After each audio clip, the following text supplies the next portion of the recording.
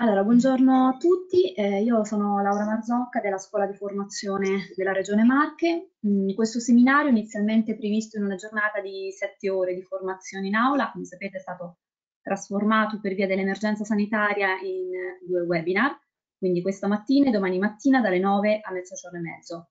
Questo seminario fa parte del nostro programma triennale di seminari informativi rivolto ai dipendenti degli enti locali per il triennio 2020-2022 finanziato in parte da fondi regionali e eh, da fon dal Fondo Sociale Europeo FSI.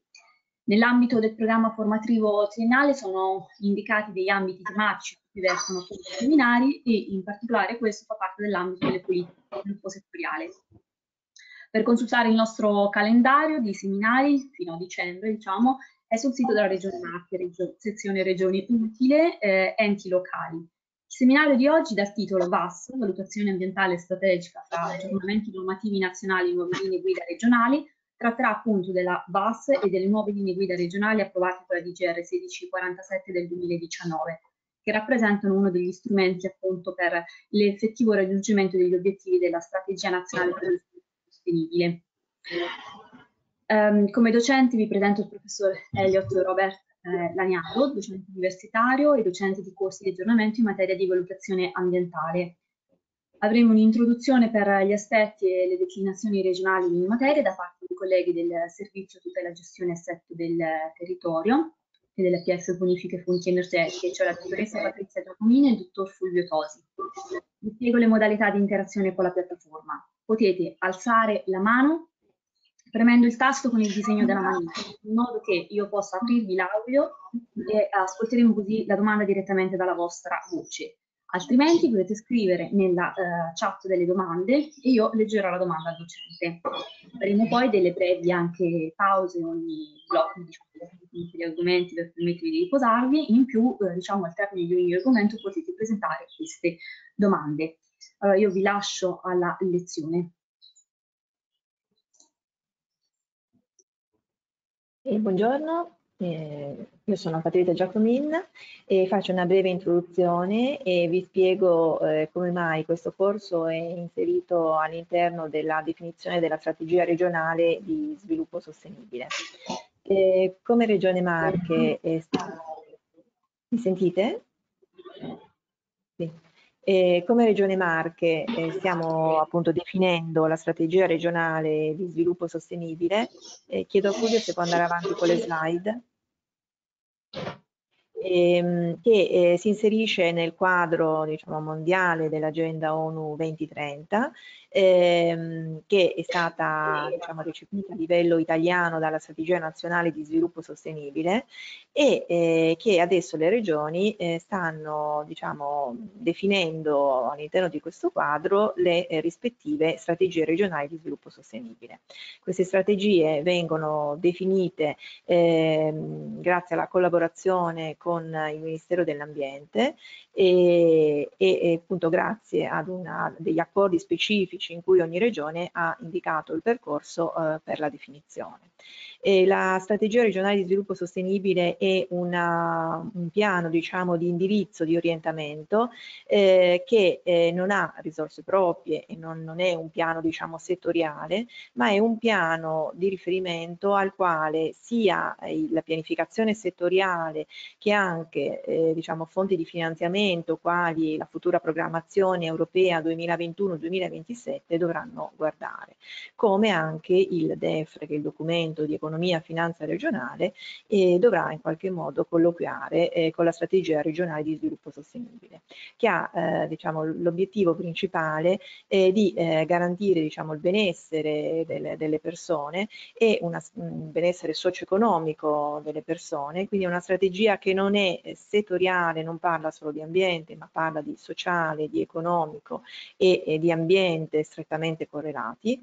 E, ehm, ha ehm, diciamo, l'obiettivo grande che si dà è l'innovazione di questa strategia di sviluppo sostenibile è proprio un'innovazione di processo, nel senso che eh, sì, eh, la stessa diciamo, cabina di regia che è l'organo di governance che eh, gestisce la strategia di sviluppo sostenibile è formata dai dirigenti dei servizi della Regione Marche, proprio per questa trasversalità di obiettivi eh, che, mh, che, deve cercare di diciamo, massimizzare l'obiettivo, non, non, non, tenendo chiuso l'argomento in un settore rispetto all'altro, eh, ma cercando appunto di eh, lavorare nell'ottica dello sviluppo sostenibile, mantenendo diciamo, insieme i tre pilastri che eh, sono tipici dello sviluppo sostenibile, che sono appunto lo sviluppo economico, il sociale e l'ambiente.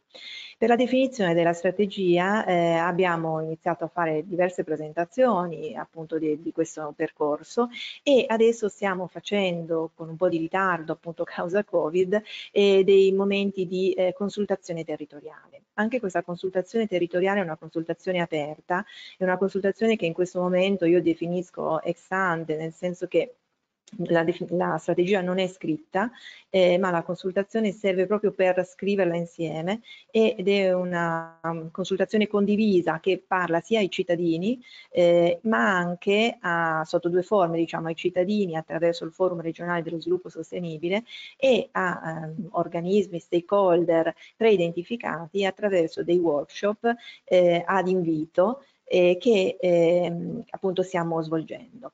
E come facciamo a fare questi, diciamo, queste consultazioni? Queste consultazioni le facciamo sviluppando e cercando di portare all'attenzione cinque scelte strategiche che la Regione Marche ha approvato con DGR 304 del 2020 e, e queste cinque scelte strategiche, ti chiedo Fulvio se puoi andare avanti, e queste cinque scelte strategiche sono delle scelte strategiche molto larghe che portano dentro, come vi dicevo, la trasversalità e quindi non si fermano nei confini settoriali, ma ogni scelta strategica dialoga con settori e funzioni diverse all'interno della regione.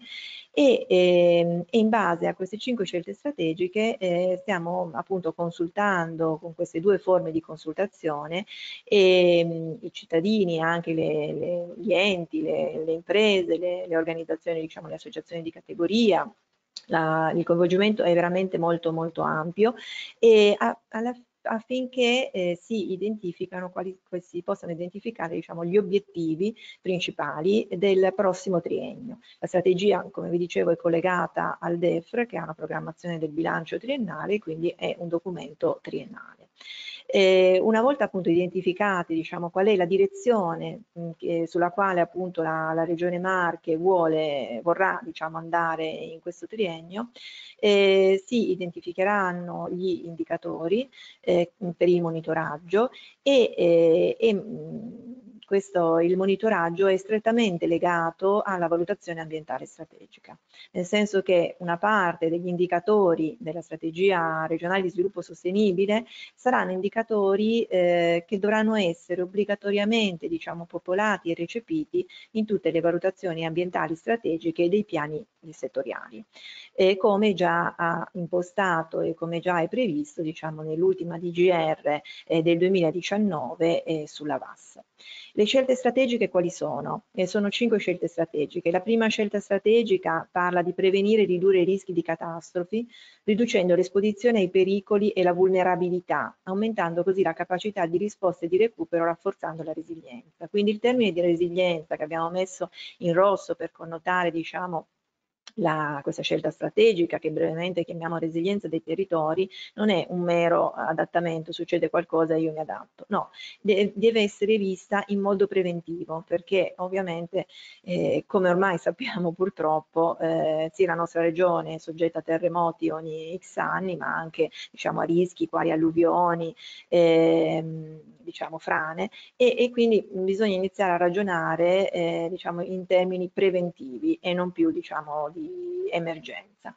La seconda scelta che può essere magari molto simile, ricollegata a, a, delle catastrofi, quella dei cambiamenti climatici, che però abbiamo deciso di eh, mettere in modo diciamo tirarla fuori eh, perché è una problematica che stiamo vivendo, stiamo vivendo con dei cambiamenti che sono sia lenti, ma ci sono anche dei cambiamenti abbastanza veloci che ci stanno modificando eh, i nostri stili di vita e anche l'ambiente in cui viviamo. E quindi per la portata e la grandezza eh, è stata appunto identificata come scelta strategica sia per tutti gli effetti che ha sulla vita nostra e anche sul, sulle relazioni sociali, ma anche sulla economia e, e diciamo sull'ambiente, sulle infrastrutture. La terza scelta è riconoscere i valori dei servizi ecosistemici e quindi tutelare la biodiversità, dove i servizi ecosistemici sono diciamo, quei benefici che eh, in qualche modo l'ambiente in cui viviamo ci fornisce, quindi una qualità dell'aria buona che ci permette di respirare, una qualità dell'acqua, appunto l'acqua potabile, eh, il suolo che ci permette appunto di, di avere del cibo da mangiare. E, la quarta è, è, legata molto più diciamo, alla persona e all'ambito del sociale perché ha eh, l'obiettivo di perseguire l'equità tendendo verso l'eliminazione della povertà e la sperequazione dei benefici dello sviluppo e la realizzazione di condizioni di dignità per la vita di ogni persona. E anche qua deve essere vista eh, in modo integrato anche nella stessa pianificazione diciamo urbanistica che eh, fa il singolo comune non è più possibile che non, che non, non si tenga conto conto del sociale, eh, perché una pianificazione diciamo sbagliata, una nuova urbanizzazione può creare delle situazioni di marginalità ehm, che poi vengono gestite diciamo a valle dai servizi sociali forse in modo non corretto, se invece anche tutta la parte diciamo eh, del sociale, della gestione dell'equità, della povertà viene inserita a monte nella pianificazione, quindi viene inserita mh, a livello programmatorio, e forse ecco, si, si riducerebbero le problematiche che stiamo affrontando. L'ultima è invece una scelta di innovazione industriale, di ricerca industriale e parla con il linguaggio diciamo, dell'economia circolare, della green economy e anche questa ovviamente si porta dietro il concetto di benessere eh, della persona, eh, di appunto mondo lavorativo. Eh, si è visto anche dai vari rapporti che vengono pubblicati che un'azienda un green, un'azienda innovativa, è un'azienda che ha più possibilità di mantenersi sul mercato, quindi ha più possibilità possibilità di offrire lavoro alle persone e, e, e quindi diciamo a, maggiori, ecco, maggiori, opportunità eh, sul mercato. E io passo la parola invece al mio collega che vi introdurrà in modo più specifico la nuova diciamo, DGR del 2019 e le linee guida eh, qualitative sulla VAS. Buongiorno a tutti, eh, sono Fulvio Tosi, probabilmente parecchi di voi già mi conoscono perché mi occupo di valutazione ambientale strategica e da un po' di tempo per lo sviluppo sostenibile. Quello che vedete qui in questa slide eh, sono delle, dei commi dell'articolo 3 quater del decreto legislativo 152. Di solito non, non vengono considerati, non vengono, non un po' mh, nascosti questi articoli perché chi si occupa di VAS sappiamo parte dal, dall'articolo 6, ma sono importantissime nella VAS perché stabiliscono i criteri, stabiliscono gli obiettivi di fondo e, in fondo, e anche in realtà i criteri e i principi ai quali occorre attenersi nella conduzione del processo di VAS. Eh, il, il, termine sviluppo sostenibile, come vedete, è citato all'inizio, cioè non, citato, ma in realtà è la definizione di sviluppo sostenibile. E il comma 4 eh, dà la direzione, la bussola, quando, in quanto nel momento in cui abbiamo qualche problema da, da risolvere, mh, ci dice che eh, prima di tutto va salvaguardato il corretto funzionamento e l'evoluzione dei sistemi, degli ecosistemi naturali. E qui trovate anche le, in parte le ragioni delle, delle scelte strategiche, delle prime scelte strategiche che avete visto poco fa.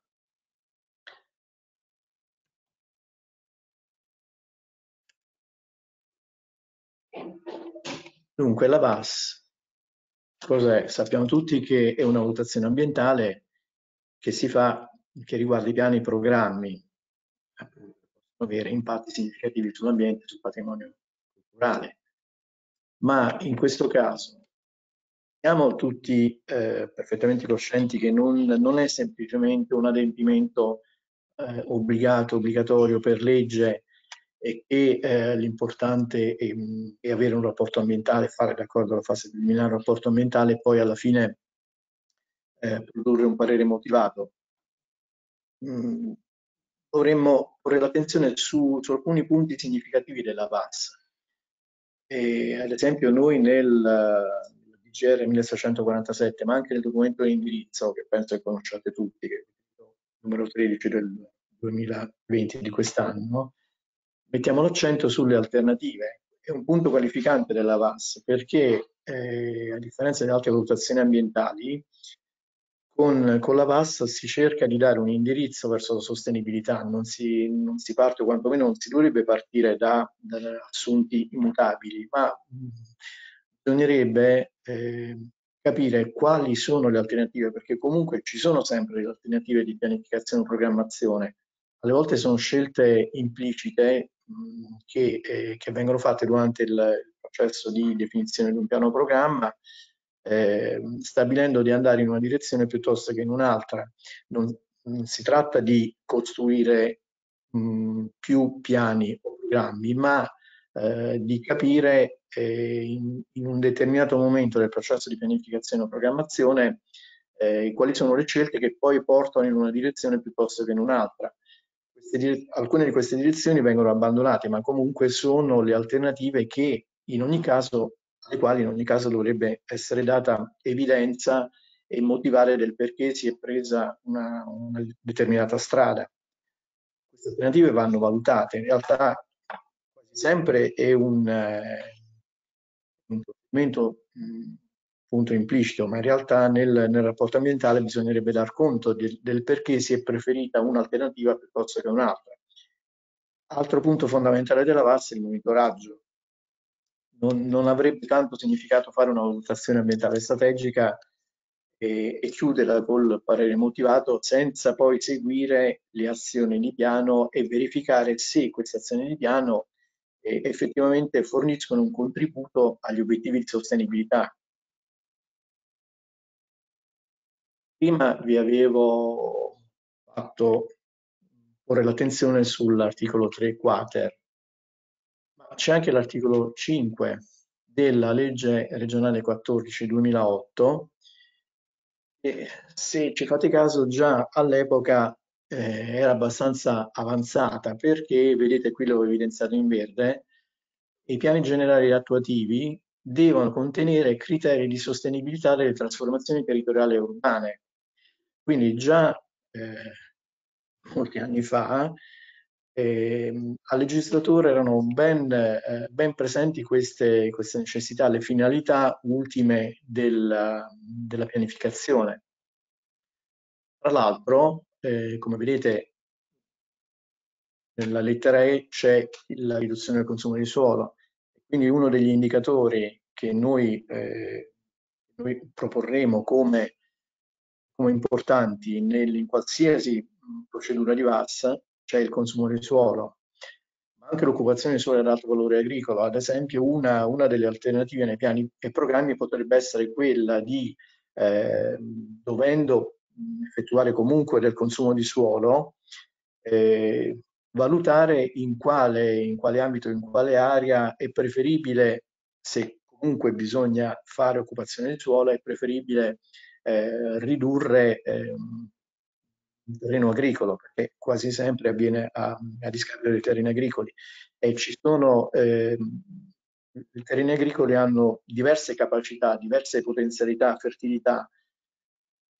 Quindi una delle alternative, eh, cioè potrebbero essere costruite delle alternative in relazione a diverse localizzazioni eh, per le quali c'è una diversa fertilità conseguentemente c'è un maggiore impatto, un minore impatto in, in, funzione della sottrazione di un terreno agricolo eh, più o meno fertile. Comma 3, vedete che c'è, ritorna il discorso del garantire il migliore utilizzo delle risorse naturali, che in pratica è quello l'esempio che vi ho appena fatto, ma anche dei fattori climatici e la prevenzione dei rischi ambientali. Un'altra norma eh, regionale eh, importante nella valutazione ambientale strategica è la legge 2 del 2013, dove si istituisce la REM, Rete Ecologica delle Marche. E, ehm, forse alcuni di voi sono già al corrente o hanno già partecipato a, a precedenti incontri fatti sempre online nell'ambito di questo lavoro della strategia regionale per lo sviluppo sostenibile, eh, dove vi è stato illustrato il, il, percorso di realizzazione delle reti ecologiche locali. Questo perché la REM, la rete regionale, è un disegno di eh, larga scala che comunque necessita di essere declinato a livello territoriale. E peraltro mh, è, è obbligato perché l'articolo 5 dice che la REM è recepita negli strumenti di pianificazione territoriale e urbanistica, quindi non è, non è tanto una scelta, un'opzione, ma è un obbligo previsto dalla norma. In più, come vi dicevo, oltre ai seminari e, e, a questa legge c'è la DGR 1288 del 2018 nel quale, nella quale ci sono tutti gli indirizzi e le, le specifiche e quant'altro necessario per appunto scendere di scala e, e capire come attuare la REM a livello locale.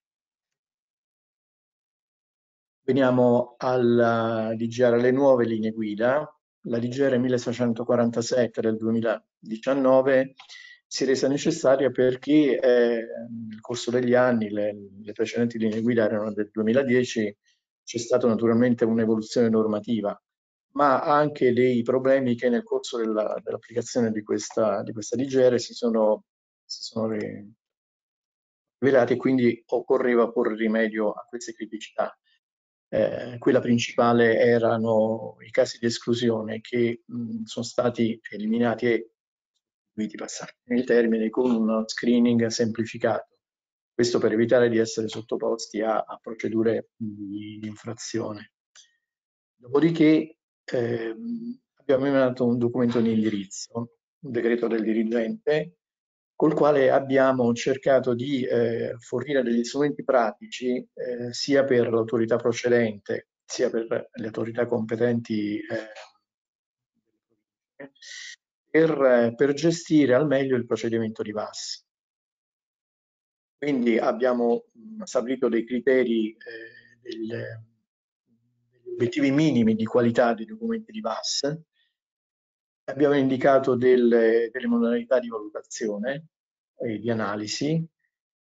E eh, in particolare col, col capitolo 10 eh, abbiamo indicato la, eh, delle modalità molto semplificate per il momento di pesare le diverse alternative in funzione di cosa? Degli obiettivi di sostenibilità. Al momento avevamo e abbiamo tuttora soltanto quelli della strategia nazionale, però prossimamente a questo saranno sostituiti gli obiettivi specifici regionali e quindi eh, avremo una definizione molto più particolare di quali sono gli obiettivi e conseguentemente eh, gli indirizzi per, eh, sia per stabilire le varie alternative da valutare, sia per ehm, avere uno strumento molto più preciso per, uh, per i pareri motivati.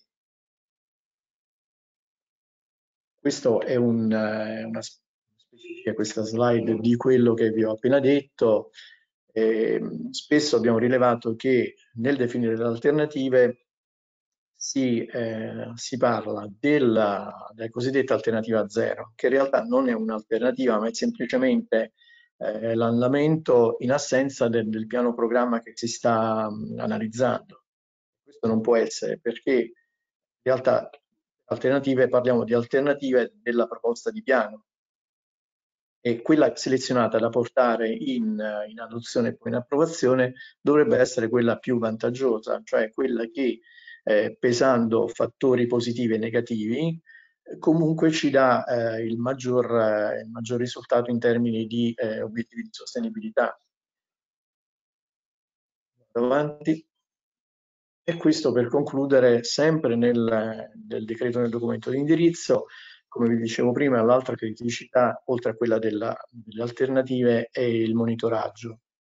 Questo è, un, è, una guida, questo schema appunto è nel, nel decreto su come impostare eh, gli indicatori qui ci sarebbe da discutere moltissimo, poi dopo questo lo, lo affronterete col professor Laniado che vi, vi illustrerà più in dettaglio tutti questi aspetti che io per il momento vi sto semplicemente accennando.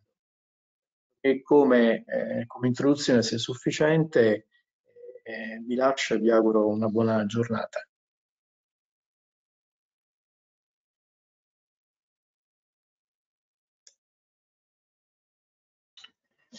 Allora, buongiorno. Eh, io mi occupo di VAS da moltissimo tempo, mi occupavo prima di VIA, in realtà mi occupo, mi sono sempre occupato del processo decisionale e eh, del modo in cui integrare le questioni ambientali all'interno del processo decisionale. Eh, io avrei bisogno di una indicazione eh, su come condividere lo schermo.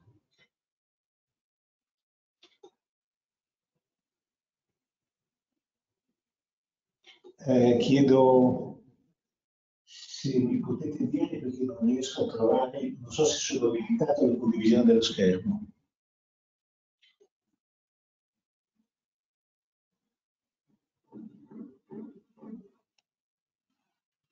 Eh, non c'è nessuno che mi possa aiutare. Perché la condivisione dello schermo autorizza la scuola di formazione, Laura. Non so se Laura c'è, noi eh, non, io non, non riesco. Eh, io non riesco sì, in questo dimmi. momento. Allora cambio eh. la condivisione dello schermo? Sì, ho bisogno sì, della condivisione dello schermo. Allora,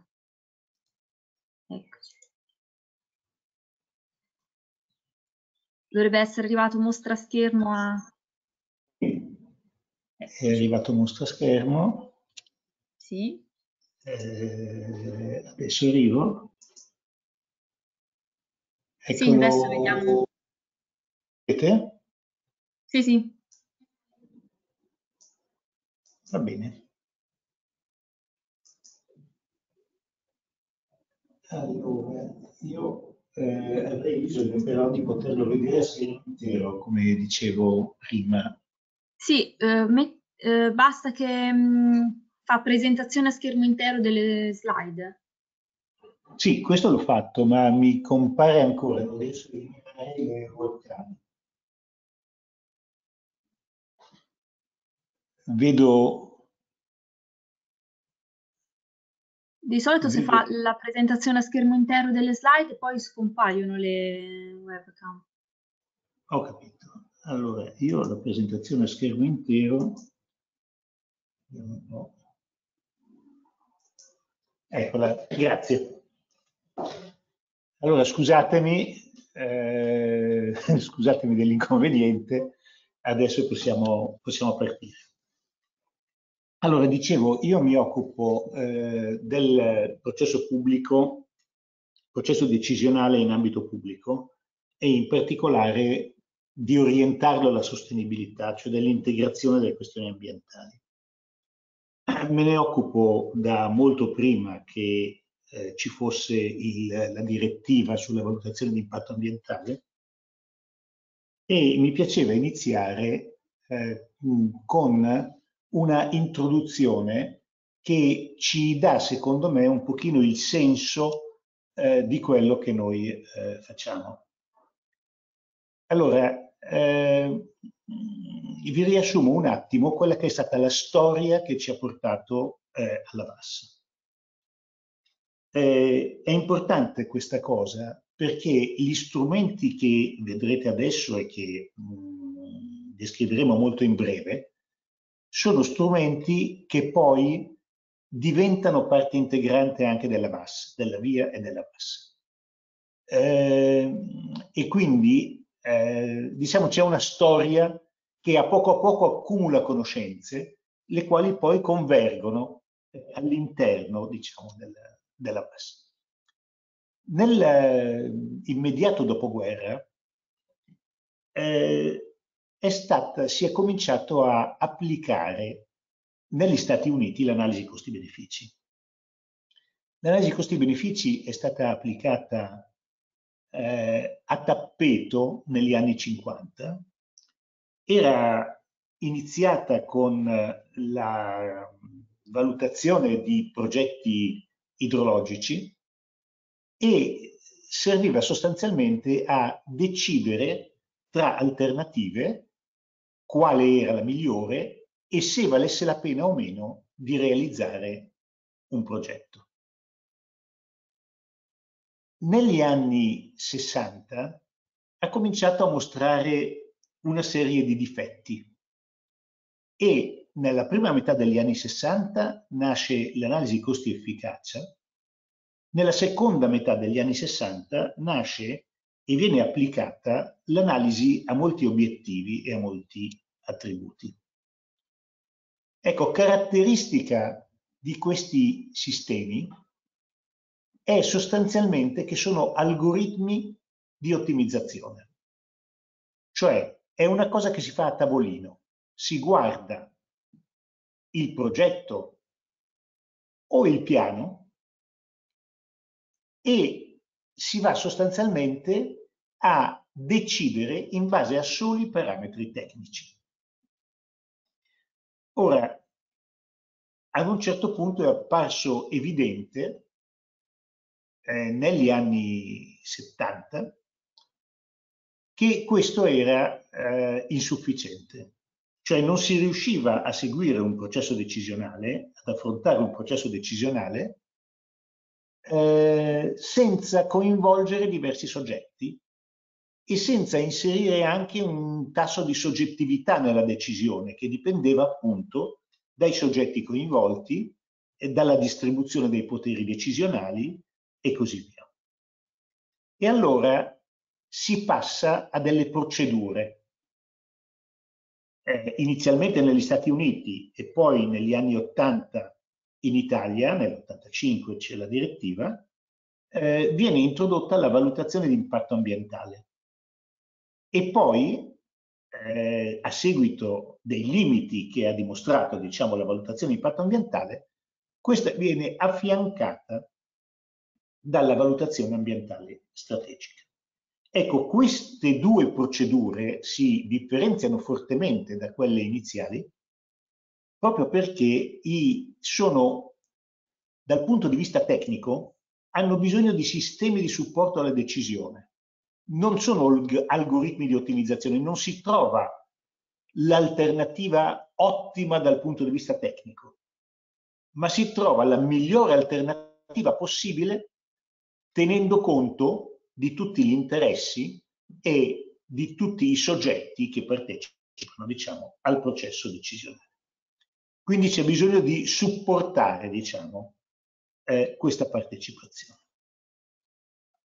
Allora, partiamo dall'analisi costi-benefici, molto brevemente. Eh, il mercato fallisce, ovviamente non in generale, ma fallisce rispetto eh, al fatto di risolvere i problemi ambientali. C'è la necessità di un intervento pubblico. Il mercato non è sufficiente perché sostanzialmente l'ambiente sfugge al mercato. Pensate semplicemente quando io emetto del fumo, io causo un danno, un costo sociale, ma in realtà non pago per questo danno che costo, non compro un pezzo della qualità dell'aria che io sto consumando. E lo stesso vale per il paesaggio e così via. Allora, non essendo sul mercato i beni ambientali, molti beni ambientali, cosa succede? Eh, succede che si presentano con prezzo uguale a zero. Vedete nell'esempio dell'inquinamento atmosferico io emetto del fumo, non mi costa niente. Vuol dire che la qualità dell'aria si presenta con un prezzo uguale a zero in un sistema di mercato. E allora capite che il segnale che mi arriva è che quel bene lì è estremamente abbondante e ne posso consumare tutto quello che voglio perché il suo prezzo è addirittura zero. E questo fa sì che tutte le risorse ambientali vengano ampiamente sovrasfruttate. l'analisi costi-benefici per prima tenta di integrare alcuni aspetti ambientali all'interno delle valutazioni che si fanno. Allora, vedremo poi i problemi, ma guardiamo un attimo come funziona. Vedete, voi avete, se siete un imprenditore, voi applicate quella che noi chiamiamo l'analisi costi i flussi di cassa. Vuol dire che voi andate a prendere il costo di tutti i vostri fattori produttivi, poi prendete il ricavo che avete dalla produzione e alla fine cosa fate? Fate quello che chiamavo l'algoritmo, cioè cercate l'alternativa che presenta la differenza massima tra ricavi e costi. Eh, I ricavi calcolati come prezzo per quantità prodotta e i costi come prezzo dei fattori produttivi. Ecco, questa è l'analisi che fa l'imprenditore privato.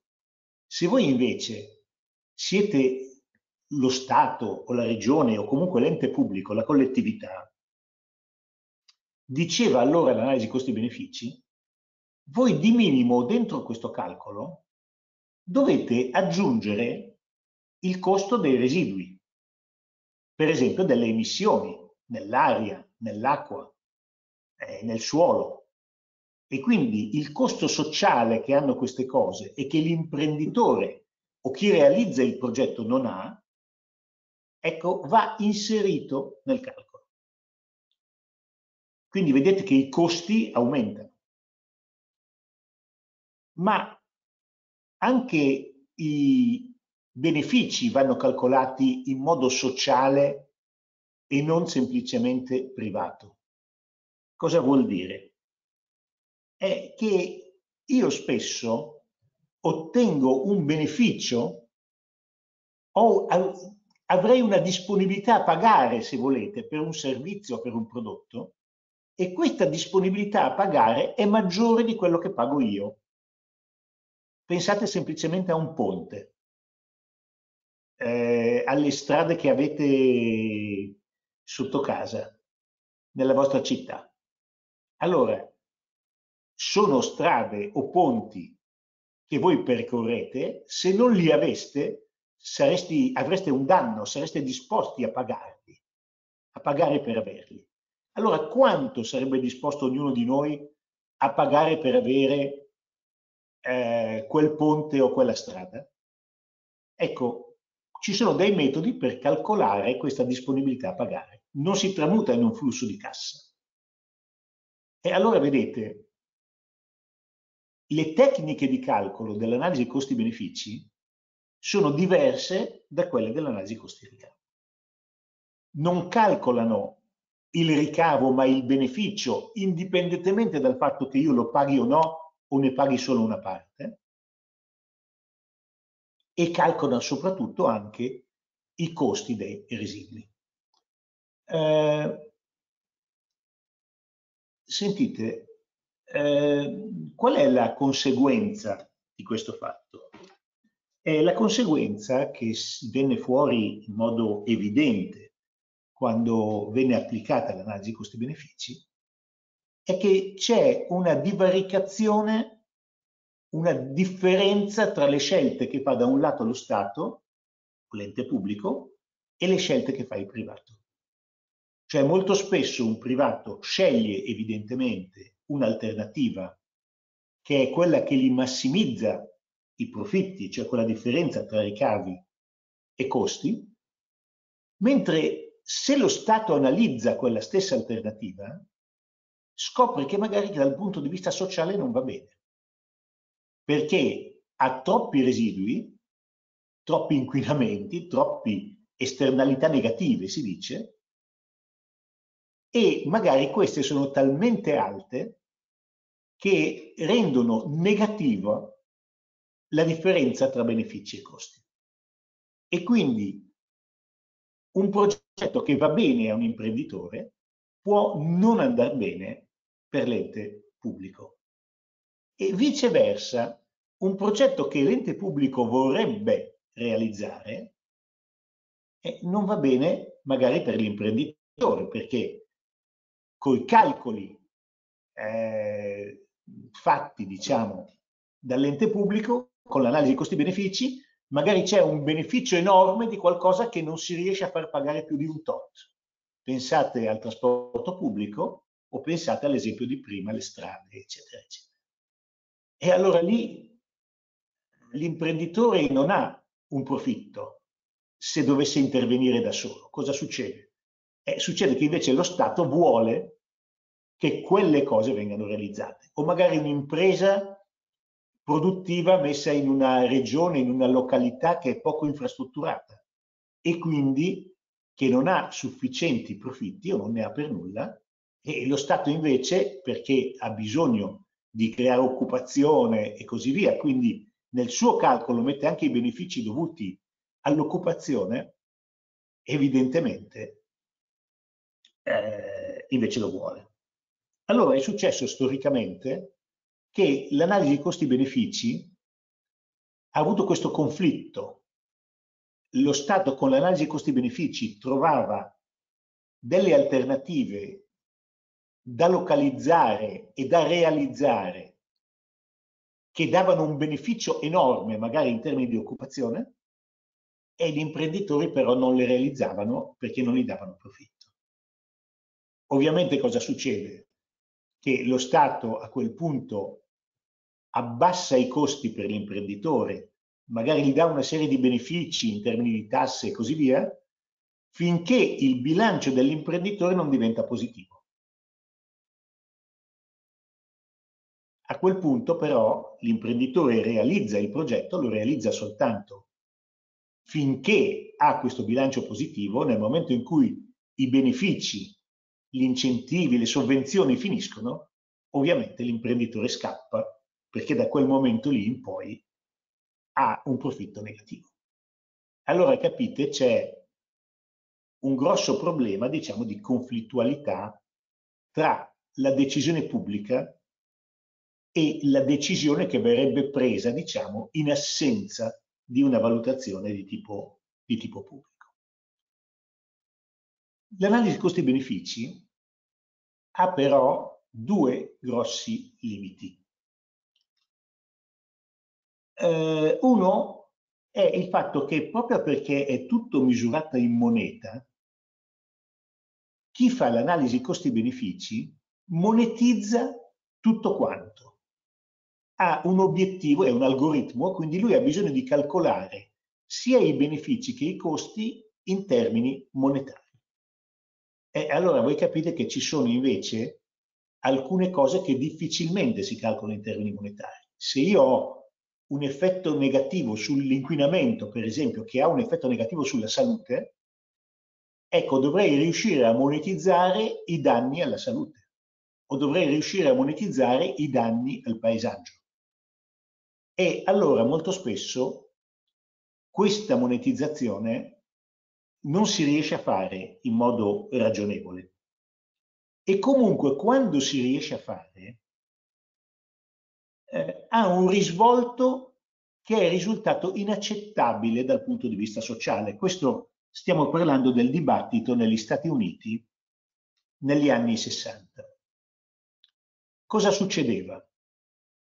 Eh, pensate di dover per esempio localizzare uno di quelli che allora si chiamavano inceneritori, che ovviamente emette della diossina, del fumo e quindi causa danni alla salute e così via.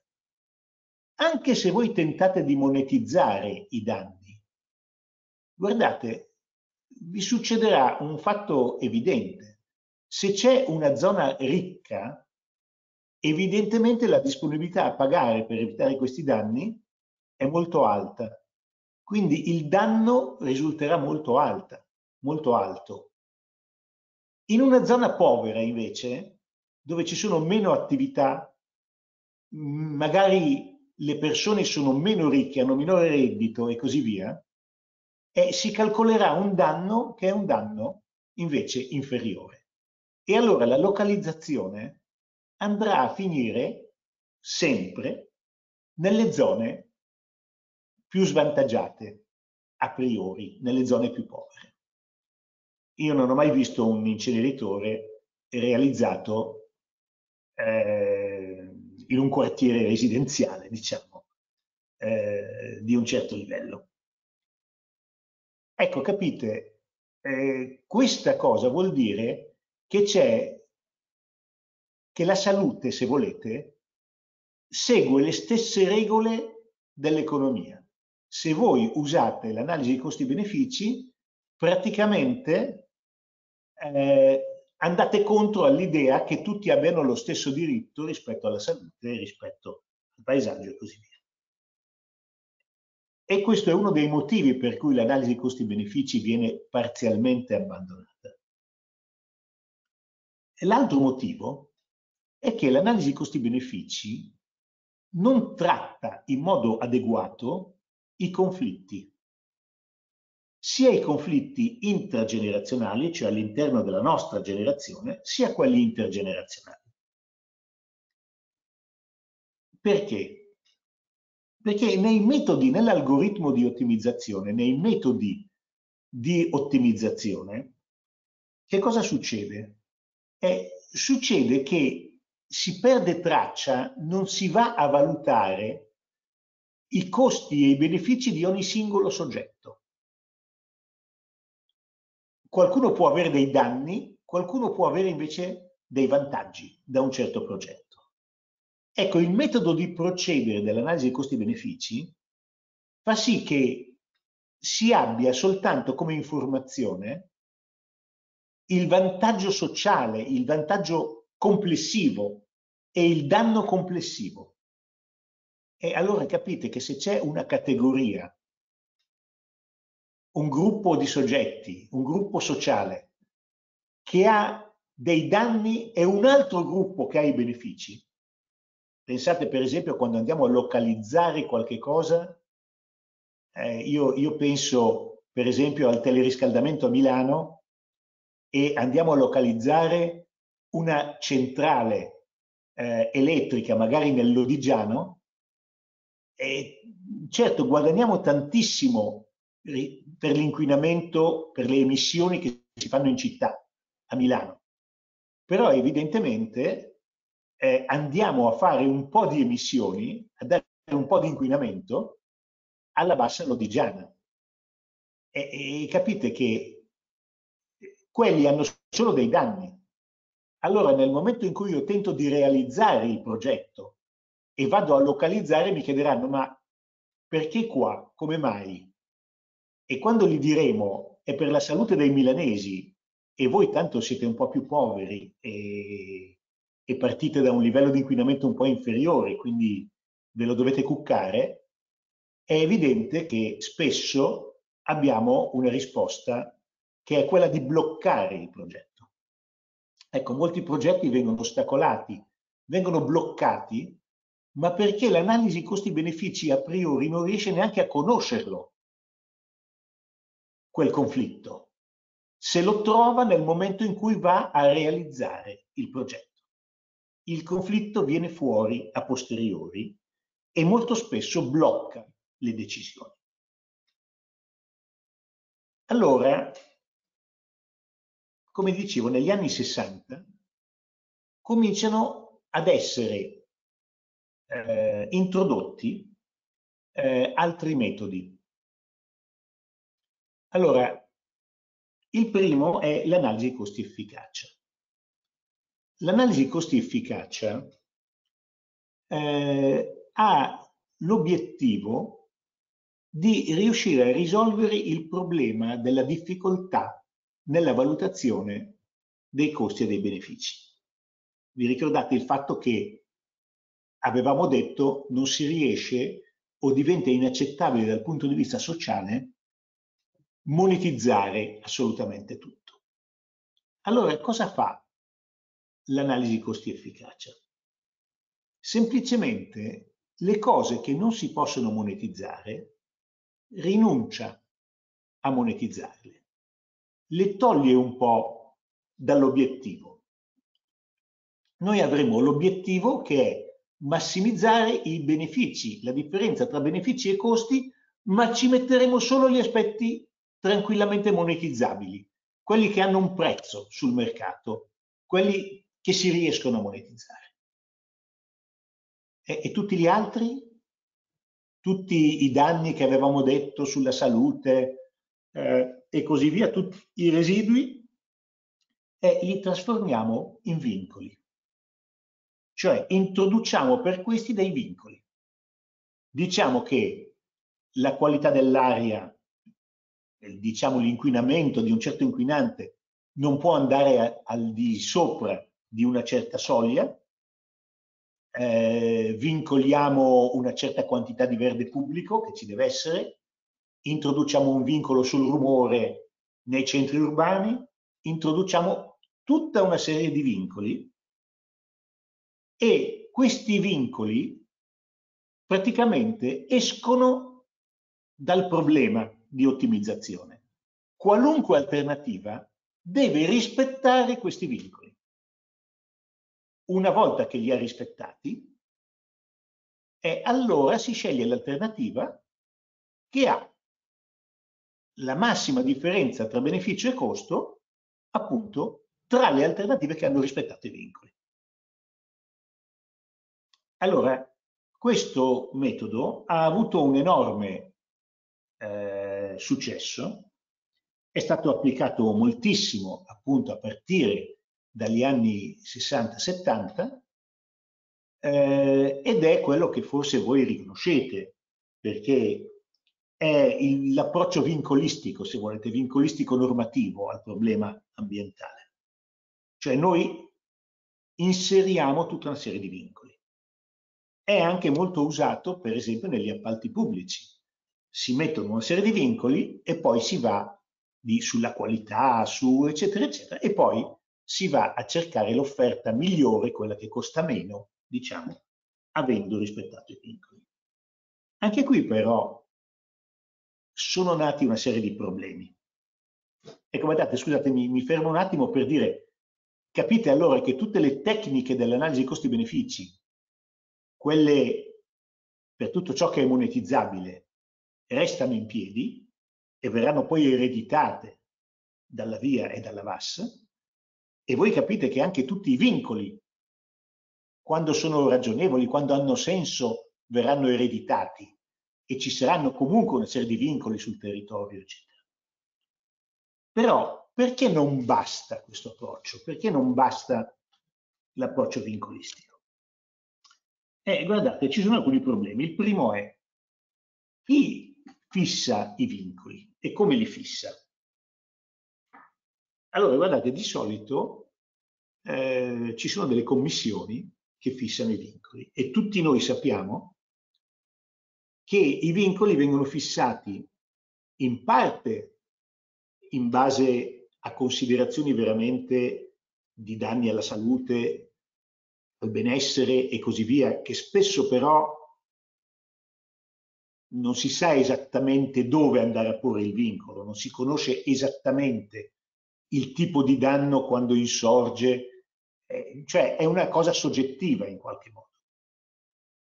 E allora molto spesso l'altra cosa che viene tenuta in considerazione nel fissare il vincolo sono anche i costi. Cioè quanto costa poi eh, alla società fare rispettare questo vincolo? Ci riesce o no? Una, questi vincoli sono in realtà un compromesso tra difesa della salute, diciamo così, e del benessere e invece necessità di tipo economico. Quindi già vedete il modello viene contaminato, non è vero che, che è separato l'ambiente che viene vincolato, in realtà è difficile fissare i vincoli e il problema è la credibilità di chi li fissa, come li fissa, molto spesso sono molto larghi, sono molto laschi perché ovviamente più si eh, va a fondo nei vincoli, ma pensate anche a tutto il dibattito che si sta facendo adesso sul Covid, più si va avanti con i vincoli e più eh, la cosa costa, diciamo, per la società. E poi c'è un altro problema. Scusate, questo ovviamente mina un po' la credibilità dei vincoli. Poi c'è un altro tipo di problema ed è che tipo di vincoli vanno introdotti e hanno senso. Perché capite, esistono dei vincoli eh, che si fanno rispettare facilmente. Io posso mettere dei vincoli sulle azioni, sulle pressioni. Se io metto un vincolo sulle emissioni, dico non ci possono essere più emissioni di, tu, di tot da un certo impianto o in una certa città, in un certo quartiere, allora io posso anche tentare di farlo rispettare, perché andrò a cercare quello che emette di più del consentito e gli darò una multa, lo metterò in galera, non so, farò quello che devo fare. Farò smettere quel comportamento. Ehm, la gente va in macchina e io posso eh, vietare certi tipi di motori perché inquinano troppo e così via. Ma badate, il problema è che facendo così io non ho nessuna garanzia su quello che è il risultato sull'ambiente.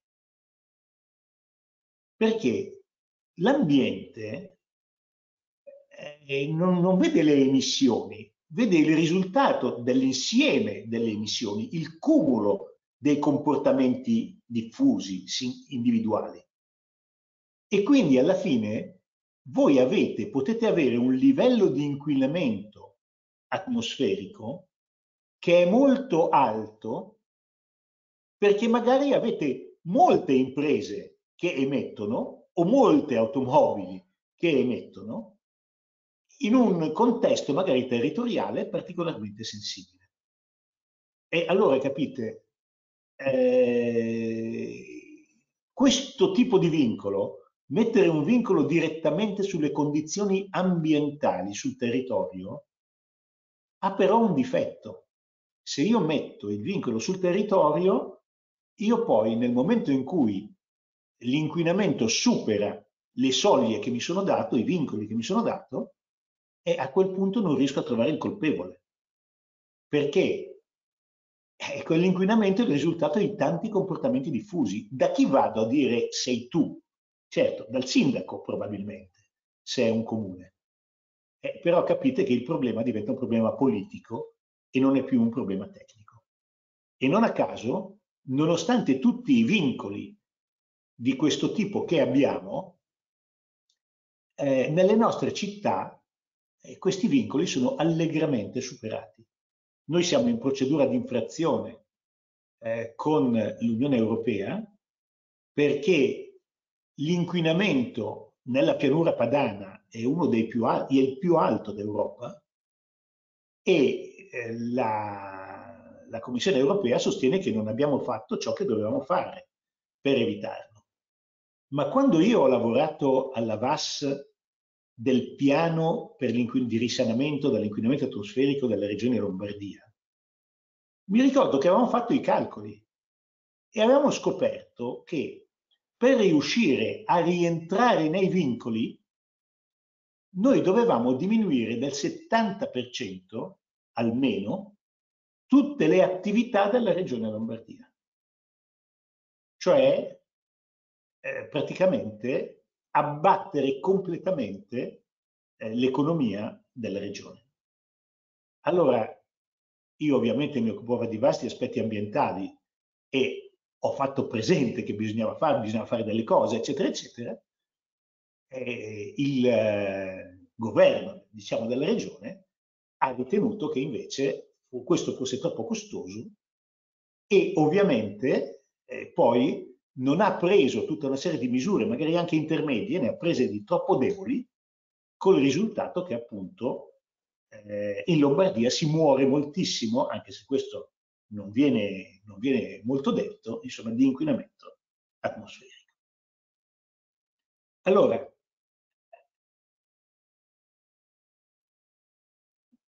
c'è un'ultima considerazione sull'analisi costi-efficacia, su questo sistema vincolistico. È, porta comunque a una strategia che in termini tecnici noi chiamiamo subottima. Perché subottima? Eh, vi faccio un esempio. Supponete di avere due piani alternativi per il risanamento dell'aria in un certo quartiere. Un piano è di tipo tradizionale, quindi va a prendere tutte le misure possibili finché arriva ai limiti del vincolo. Quindi riporta, eh, riporta la situazione alla normalità, alla legalità, rispettiamo i vincoli, ovviamente spendendo il meno possibile, quindi arrivando con le sue misure ai limiti del vincolo. E supponiamo che questo piano costi 10. E poi avete un altro piano invece, e supponete che qualcuno abbia avuto un'idea geniale, e quel piano invece risolve alla radice il problema dell'inquinamento atmosferico. Quindi voi avete un'aria completamente pulita, non al limite del vincolo. E capite che siccome il vincolo era deciso in modo largo, comunque c'è una polemica, fa comunque male alla salute, eccetera, eccetera, eh, capite che avere un risultato che invece risolve il problema dell'inquinamento, eh, supponiamo che questo risultato costi, questo secondo piano costi 11 invece di 10. Allora, è evidente che chiunque di voi dovesse scegliere, sceglierebbe quello che costa 11 e risolve il problema alla radice e non abbiamo più malattie, eccetera, eccetera. Se voi però applicate in modo, introducete per legge il sistema dei vincoli come negli appalti, cioè avete i vincoli e poi dovete decidere in base solo agli aspetti economici monetizzabili, e voi a quel punto si, avete le mani legate e dovete necessariamente decidere per il primo, perché entrambi i piani rispettano i vincoli e dovete decidere per quello che costa meno. E allora Capite? Questo è fortemente insoddisfacente. Come si dice? Si dice che la variabile ambientale è stata trattata in modo diverso da quella economica. Quella economica è prioritaria perché varia con continuità. Quella ambientale resta invece soltanto un vincolo, o superi o non superi una certa soglia. E allora capite non è una variabile trattata dal punto di vista decisionale allo stesso livello dell'altra. E questo crea, diciamo, questi paradossi. Allora, anche questo metodo dei vincoli, diciamo, dell'analisi costi-efficacia, viene parzialmente abbandonato. Non vengono abbandonati i vincoli, ovviamente, perché quelli garantiscono il minimo, ma poi ci si lascia la possibilità di decidere tra alternative che pure rispettano i vincoli, ma sulla base non solo di criteri economici, anche di criteri ambientali, sociali e così via. Allora, il terzo strumento che eh, viene inserito e eh, viene eh, elaborato, si comincia ad elaborarlo nella seconda metà degli anni 60 con una serie di sperimentazioni fatte da diverse eh, università, è la cosiddetta analisi a molti obiettivi. L'analisi a molti obiettivi si differenzia dalle altre due perché introduce esplicitamente la dimensione politica della decisione eh, la dimensione soggettiva della decisione. Perché prende atto del fatto che non si possono misurare, non si possono monetizzare alcuni degli obiettivi, ma non si può neanche ridurle soltanto a vincolo. Allora, cosa fa l'analisi a molti obiettivi? Ve lo faccio vedere in un esempio molto didattico, molto semplice, poi magari la riprenderemo quando parliamo di VAS. Eh, L'analisi ha molti obiettivi. Eh, supponiamo di avere due obiettivi. Il, è il piano di cui vi parlavo di risanamento eh, dal punto di vista dell'inquinamento di, di un quartiere. Immaginiamoci ci sono due obiettivi. Uno è l'inquinamento che vogliamo minimizzare e l'altro è il costo che vogliamo minimizzare. Quindi tutte e due da minimizzare. Vuol dire che se noi fossimo di questo diagramma che vedete, se noi fossimo nell'origine del piano, saremmo felici.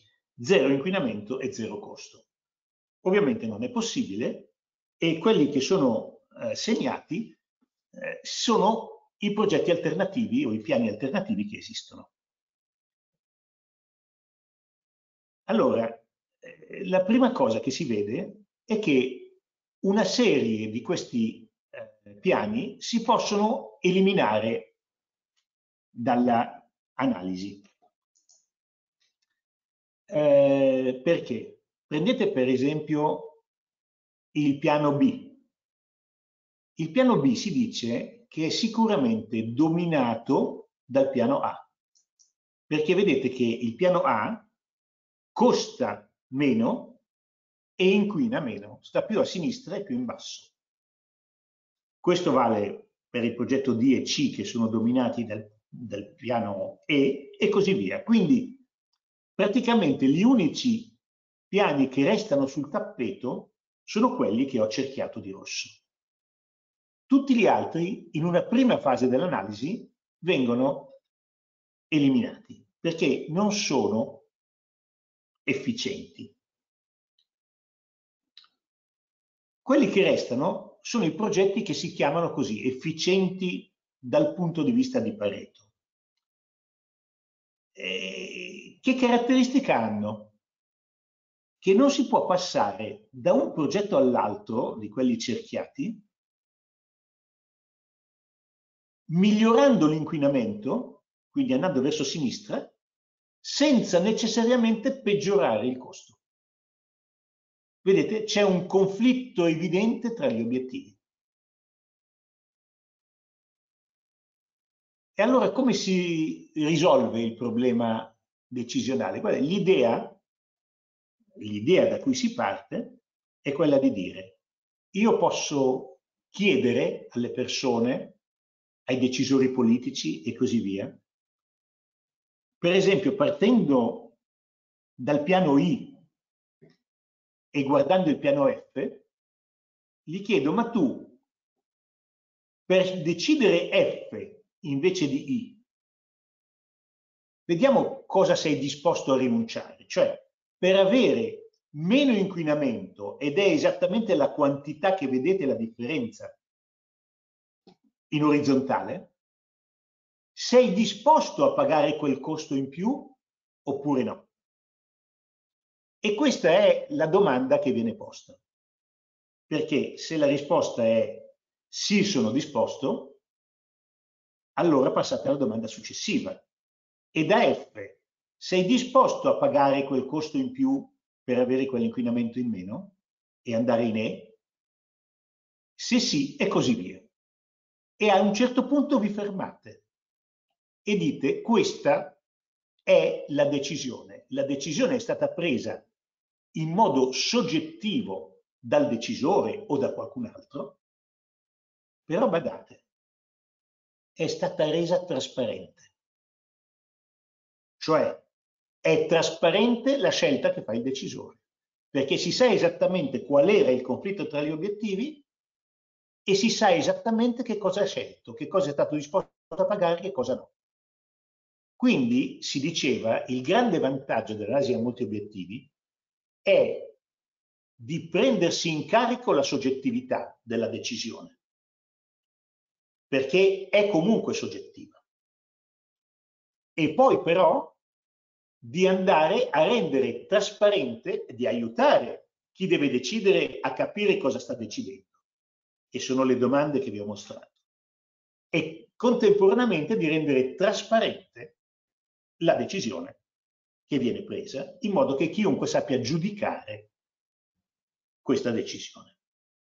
Allora, questo è un po' lo schema quando è nata l'analisi a molti obiettivi. Perché l'analisi a molti obiettivi non... Eh, scusate, non so perché... Ecco. Perché l'analisi a molti obiettivi eh, in questa forma non può essere applicata? È stata applicata inizialmente su grandi progetti dove gli obiettivi erano molto pochi, erano appunto due o tre, e allora un'analisi di questo tipo si può fare. Eh, non so, era la diga e dall'altra parte c'era il rischio di esondazione, no? Ma se voi invece avete ormai sviluppato una sensibilità all'ambiente perché avete capito che gli obiettivi non monetizzabili sono tanti, non soltanto l'inquinamento atmosferico, ma c'è anche su un piano, su un progetto grosso o su un piano, ci sono anche evidentemente l'inquinamento idrico, ci sono evidentemente il paesaggio, ma ci sono gli aspetti sociali, c'è la biodiversità e così via. Ecco, se voi dovete aumentare gli obiettivi, andate oltre i tre, una figurina di questo tipo non la potete più fare e dovete costruire delle grandi matrici delle matrici dove avete tanti obiettivi, se volete, eh, nelle righe, tanti progetti sulle colonne e non ci capite più niente. Cioè, in particolare non ci capisce più niente chi deve decidere, perché non ci sono più queste domande così semplici e questa visualizzazione così semplice. E allora poi l'analisi dei molti obiettivi ha avuto delle evoluzioni eh, che si applicano invece adesso ai piani e che vi farò vedere poi quando eh, passeremo eh, appunto alla, al percorso metodologico della VAS. Ehm, sentite, tutti e tre questi metodi hanno però un, un grosso difetto, una grossa criticità eh, sono metodi, metodi matematici, algoritmi. Come dicevo, c'è bisogno invece, ci si rende conto che per la trasparenza, per trattare la soggettività, c'è bisogno di altro.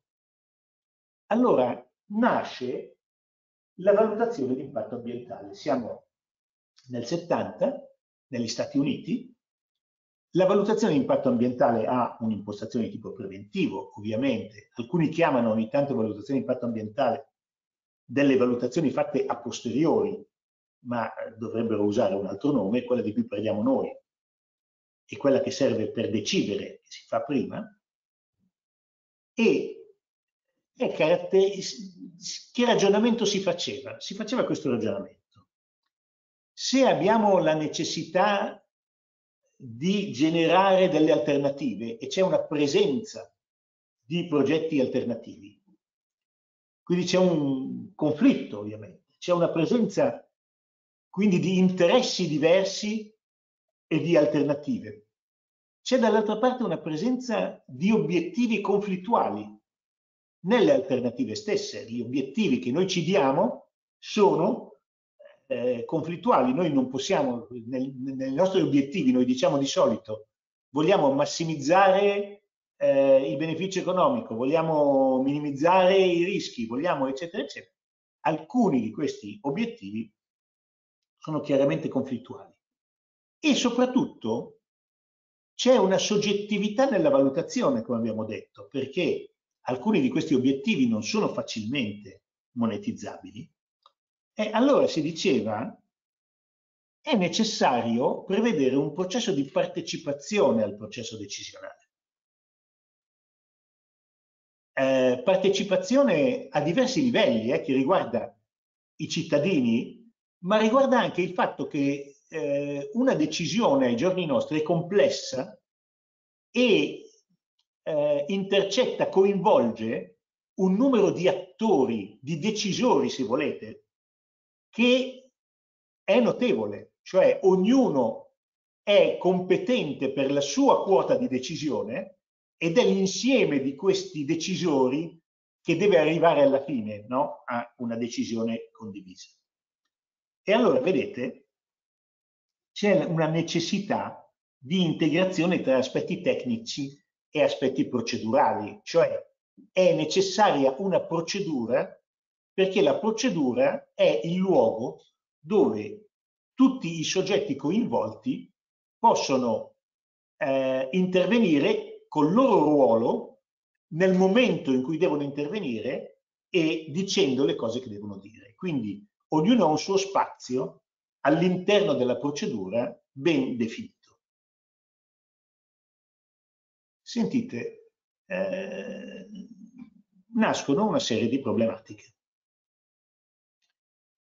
Eh, io non, vedete che queste sono problematiche, mh, guardate, questa, eh, questa slide, eh, dopo magari facciamo un attimo di pausa, eh, questa slide sulla via, io l'ho ricopiata da, allora non c'erano le slide, eh, da una cosa invece scritta a mano, cioè scritta senza PowerPoint, eh, nel 1987, perché erano le problematiche che discuteva, si discutevano all'interno della commissione che doveva introdurre, doveva recepire il decreto, la, la direttiva, scusate, nel decreto ministeriale. E eh, io avevo presentato questa, questa slide che metteva in evidenza dal mio punto di vista, quello mio tecnico, diciamo, di esperto del processo decisionale, metteva in evidenza tutta una serie di criticità. Ve le lascio per documentazione, ma le domande. Ma eh, vorrei eh, soffermarmi soltanto su tre di queste problematiche eh, perché sono quelle che riguardano di più il significato poi della VAS, perché è stata introdotta la VAS. Allora, la, la prima è la fase di progettazione in cui si colloca la via. Voi sapete che la valutazione di impatto ambientale deve essere effettuata in un momento della progettazione, cioè si prende il progetto la proposta di progetto e la si valuta. Quindi che cosa succede? Siccome la progettazione è un processo lungo che ha diverse tappe, allora evidentemente eh, bisogna decidere in che momento inserire la valutazione di impatto ambientale. Vedete, se la inserite nel momento dello studio di fattibilità o del progetto preliminare, avete la possibilità di considerare delle alternative strategiche, delle alternative radicali. Per esempio fare una ferrovia invece di un'autostrada oppure intervenire sulla localizzazione dei, eh, dei posti di lavoro e delle residenze per abbattere la domanda e evitare di fare qualunque cosa. Se più andate avanti nel nella progettazione, arrivate al progetto definitivo, una volta si chiamava di massima, e allora lì avete già deciso che cosa fare, ovviamente, avete delle alternative che sono di tipo tecnologico o eh, di localizzazione. Se andate ancora avanti, cioè avete deciso la localizzazione, la tecnologia, eccetera, allora andate al progetto esecutivo avete ovviamente nel momento in cui realizzate il progetto esecutivo, in cui studiate il progetto esecutivo, eh, avete, trovate degli altri ostacoli, degli altri problemi e avete bisogno di introdurre magari delle varianti, delle misure di mitigazione, ma ovviamente non potete più a livello di progetto esecutivo introdurre delle alternative strategiche, dire abbiamo scherzato, sono tre anni che progettiamo questa cosa ma ne volevamo un'altra.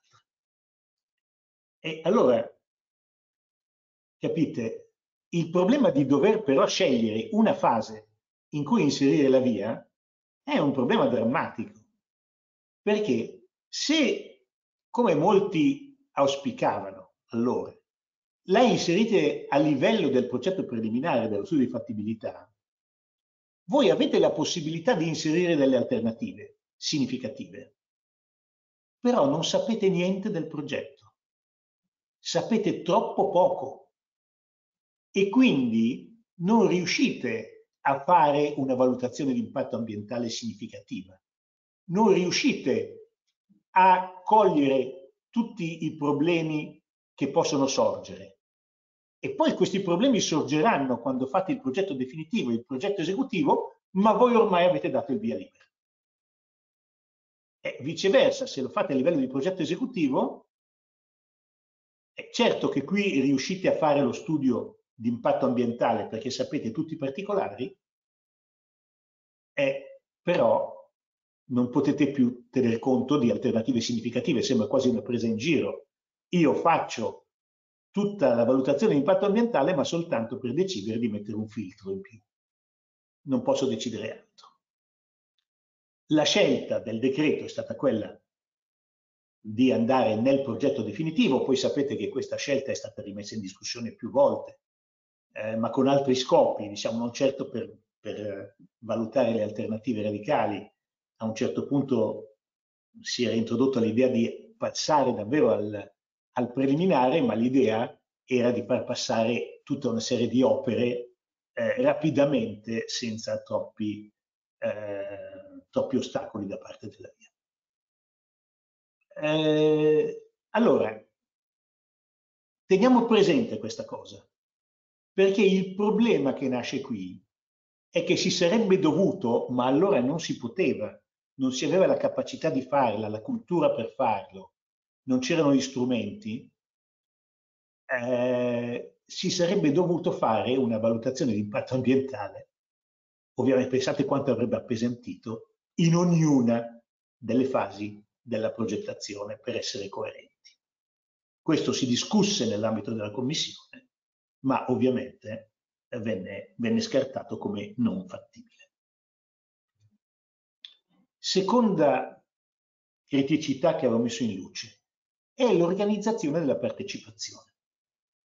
Ecco, nella valutazione di impatto ambientale di allora, eh, dell'88, ma che è poi andata avanti per decenni, per anni, diciamo, eh, la consultazione era soltanto una consultazione di tipo passivo. Cioè, una volta fatto lo studio di impatto ambientale, questo studio veniva messo a disposizione del pubblico. Voi dite come veniva messo a disposizione? Eh, veniva pubblicato un annuncio su due quotidiani che diceva se volete potete venire eh, a consultare lo studio. Beh, io non voglio perdere tempo, quindi non vi racconto tutta l'aneddotica che c'è su questa cosa. Ma vi immaginate chi riesce a trovare l'annuncio sul giornale deve essere così fortunato da leggere proprio quel giornale su cui c'è l'annuncio, l'annuncio in mezzo agli annunci economici e poi tutta una fase durata diversi anni in cui uno poi andava in regione per tentare di guardare la documentazione e quelli dicevano ma non so chi vuoi, con chi vuoi parlare, dove vuoi andare e non si riusciva assolutamente. E poi questa documentazione era spesso di 12 volumi e chiunque è andato lì magari gli dicevano non puoi fare le fotocopie e sveniva davanti a questa massa di roba. Quindi pochissime osservazioni, spesso osservazioni che riportavano dentro il conflitto in modo integrale, cioè senza nessuna mediazione. E quindi molto spesso sulle grandi opere, sulle opere della via, il conflitto andava nelle piazze, si, si facevano i comitati, eh, si organizzava la lotta contro un certo progetto e quindi vedete l'idea della scelta tra alternative, di tentare di capire come muoversi, eccetera, andava completamente eh, disattesa. E quindi abbiamo bisogno di un concetto di partecipazione diverso. E poi l'ultima criticità che vorrei mettere in luce è il rapporto tra la via e la pianificazione territoriale. Allora, l'approccio della via è per opere singole ed è un po' l'approccio dell'economia storica, per esempio l'analisi costi-benefici, ed è l'approccio degli. L'approccio invece della pianificazione territoriale per aree è quello degli urbanisti, eh, ma anche di quelli che si occupano di agricoltura, di, di fenomeni ambientali diffusi, diciamo, sul territorio. E c'è una contrapposizione ideale, diciamo culturale, da sempre tra queste due scuole. L'analisi costi-benefici, l'analisi molti costi-efficacia, all'inizio anche l'analisi a molti obiettivi si approcciavano per aree singole e quindi la valutazione di impatto ambientale anche si approccia per opere singole. Però non riesce a svolgere il suo ruolo a pieno. Perché non ci riesce? Intanto perché per decidere un'opera, un progetto, bisogna conoscere non la fotografia della situazione attuale, ma lo scenario di riferimento, cioè verso dove si sta andando. Pensate, se voi progettate una strada, quella strada ci mettete dieci anni a costruirla, sarà in esercizio fra dieci anni e quindi sarà inserita nell'ambiente di tra dieci anni, non in quello di adesso. E allora voi avete bisogno di conoscere, di sapere quale sarà l'evoluzione del territorio, presumibilmente. Eh, ma l'evoluzione del territorio, lo scenario di riferimento, ve lo dà soltanto l'insieme dei piani. È un piano che insiste su quel territorio, che dice da qui ai prossimi dieci anni l'evoluzione di questo territorio vogliamo che sia così così, perciò facciamo questo e quest'altro. E allora capite, la valutazione di un'opera ha bisogno dello scenario di riferimento dato da un piano.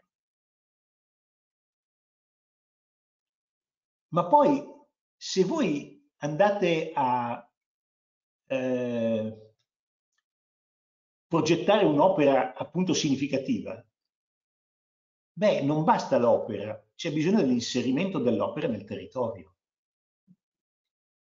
Cioè, eh, se io faccio di nuovo un'autostrada, eh, io avrò bisogno di avere un piano paesistico probabilmente intorno, nell'intorno della strada, eh, per inserirla correttamente. Ma dovrò aver bisogno anche eh, di governare gli effetti indotti. Perché pensate, perché noi sappiamo quali sono gli effetti di una strada, il consumo del suolo e il traffico che poi è l'impermeabilizzazione, il traffico eh, con tutte le conseguenze, emissioni, rischi, eh, rischi di congestione, eccetera. Ma non, non è certo questo. Il problema più grosso dell'autostrada molto spesso è un altro che dove c'è lo svincolo si andranno a localizzare in maniera selvaggia tutta una serie di insediamenti, molto spesso superando mh, tutti i limiti, diciamo, dei piani regolatori e così via, o con delle varianti o in modo abusivo. E intorno a quella strada eh, ci sarà una selva di cartelloni pubblicitari, eccetera. Ci saranno tutta una serie di attività che si insedieranno anche intorno alla strada, eccetera, eccetera. Quindi voi se dovete, se avete un progetto importante sul territorio, avete bisogno non soltanto dello scenario di riferimento, ma anche di un piano che governi l'indotto, che governi tutto quello che succede nel territorio intorno alla vostra opera. E questo non può essere nelle mani del proponente dell'opera, è necessariamente nelle mani di un piano. E poi, come fate a valutare voi che state eh, costruendo l'autostrada gli effetti sinergici o cumulati sul territorio? Perché oltre alla vostra strada c'è magari un impianto di smaltimento dei rifiuti, eh, c'è magari un'impresa che si sta localizzando, c'è un ampliamento di un quartiere residenziale. Allora l'effetto sul territorio è dato dal cumulo di tutti questi interventi. E ovviamente anche questo, l'effetto cumulativo sì, o sinergico tra diverse opere, è, può essere preso in carico solo da un piano. Allora capite, c'è, se volete, un, una prevalenza della... Io, scusate, non sono, credo di non essere sospetto di preferenze, perché io sono di origine, sono un ingegnere eh, che poi si è occupato sempre di economia. Quindi il mio approccio originale culturale è quello per aree.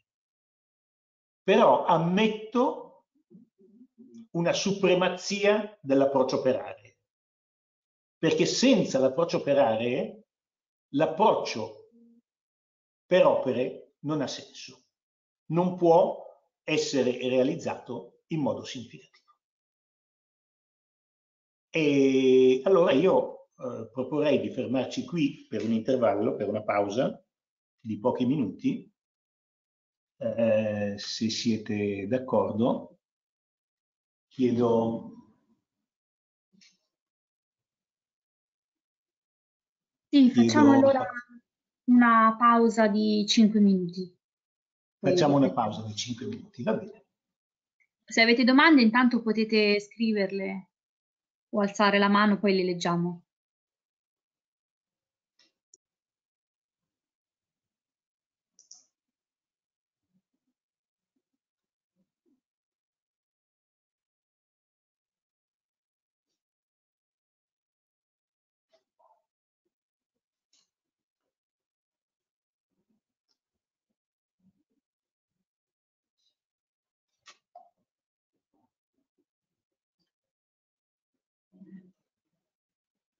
Dunque, eh, io avrei bisogno di parlare un attimo con Fulvio o con Patrizia. Mi, mi provate a chiamare magari?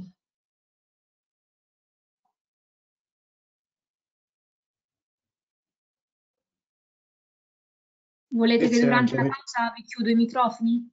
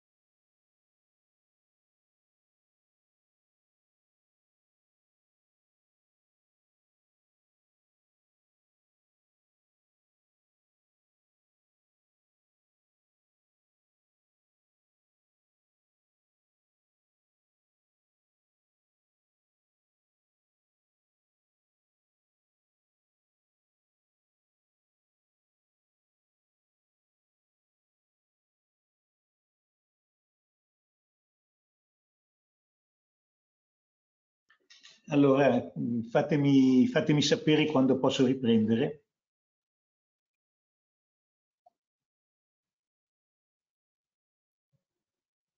Se I partecipanti mi danno un segno in chat che sono tornati, iniziamo a riprendere. Devo fare un brevissimo intermezzo. Sì. Eh, rispetto allo scenario di riferimento, eh, credo che sia sia opportuno fare un, un, riferimento appunto al cambiamento climatico perché eh, tutto quello che abbiamo sentito finora eh, potrebbe essere completato a livello di scenario dal, dal trend um, climatico. Mi interesso di parlare io oltre che di sviluppo sostenibile anche di forestazione, quindi siccome è un esempio questo, nel, nel definire la, la, scelta delle specie, eh, oltre a, a, studiare i parametri del sito d'impianto, bisognerebbe considerare anche che quegli stessi parametri non sono statici, ma eh, hanno un, trend, uno sviluppo che, che, stiamo conoscendo sempre più nel dettaglio adesso. E quindi magari una, una specie che va bene in questo momento in quel determinato luogo potrebbe non andare più bene quando uh, le piante, gli alberi saranno maturi e dovranno estrinsecare il massimo dei servizi ecosistemici. Questo perché il cambiamento climatico è estremamente veloce e quindi eh, bisogna, bisogna, tenerne conto. Quindi soltanto per, per dire che nello scenario, anche se un parametro non, eh, non spaziale ma temporale, eh, è un elemento ormai di cui non, non si può non tener conto. Sì, certamente. Eh, infatti, eh, accanto alla strategia nazionale di sviluppo sostenibile c'è anche la strategia di adattamento al cambiamento climatico che credo, eh, anzi, io credo che avrebbe dovuto essere una strategia sola, tutto, tutto integrato, e vedremo più avanti, quando affronteremo il percorso metodologico della VAS, anche questo tipo di aspetti. Credo che il cambiamento climatico sia una delle cose che rende più incerto e più importante, diciamo, più incerta la decisione e quindi più importante l'andare a vedere gli scenari di riferimento. Ma ripeto, c'è poi, allora, ne approfitto per dire come, come siamo organizzati come slide anche. Eh, noi adesso abbiamo visto, eh, dal mio punto di vista, la genesi storica, se volete, eh, della VAS, eh, da, dove, da dove emerge che eredità si porta dietro e, dove, e come tutte le critiche fatte ai metodi precedenti convergano appunto nella, nella VAS. Adesso in questa seconda parte io vorrei eh, introdurre proprio la VAS, eh, introdurre dal punto di vista generale, degli elementi generali, diciamo, la VAS, eh, e, e, anche una serie di critiche che ci sono già alla VAS, per cui sono in atto anche dei cambiamenti. E, e poi invece, eh, dopo questa seconda parte, eh, inizieremo eh, alla fine della giornata di oggi e tutta quella di domani andremo a prendere in considerazione proprio il percorso della VAS e quindi come si svolge dal punto il, la realizzazione del rapporto ambientale, i diversi passi dal punto di vista procedurale e, eh, e quindi andremo proprio ad analizzarla nel suo percorso metodologico. Eh, allora, L'introduzione della VAS avviene anche storicamente in una fase di cambiamento proprio di paradigma, di paradigma a livello sociale, decisionale, a livello politico. Cioè si passa, è, è la fase in cui si sta passando dai sistemi gerarchici ai sistemi a rete, che sono quelli ai sistemi più complessi a rete, che sono quelli di oggi. Allora, la via nasce dentro al paradigma dei sistemi gerarchici. La VAS dentro al paradigma dei sistemi a rete, mentre stanno iniziando, se volete, i sistemi a rete. Allora, vediamo brevemente le differenze. Allora, il sistema gerarchico, sistema gerarchico vuol dire che è a piramide, c'è uno che comanda e poi gli altri via via che ubbidiscono. Allora, eh, la via è di questa generazione, se volete, e quindi eh, risponde all'idea del governo come comanda e controlla. Quindi c'è uno che governa, c'è il governo, e magari, un, magari sono 10 persone, però governa tutti gli altri attraverso il sistema del comando e controllo, cioè decide lui praticamente e gli altri devono ubbidire e lui controlla. E viene vedere il sistema rete invece è un sistema, la traduzione italiana non è facile perché anche in, in italiano è ancora governo, ma è la governance, cioè Guardate, è molto importante perché il fatto, se volete diamo una definizione, è il fatto che ognuno sia messo in grado di svolgere responsabilmente il proprio ruolo e ovviamente lo svolga. Quindi le responsabilità all'interno della società sono suddivise. Ognuno ha le sue responsabilità deve svolgere il suo ruolo, ma soprattutto deve essere messo in grado di svolgerlo.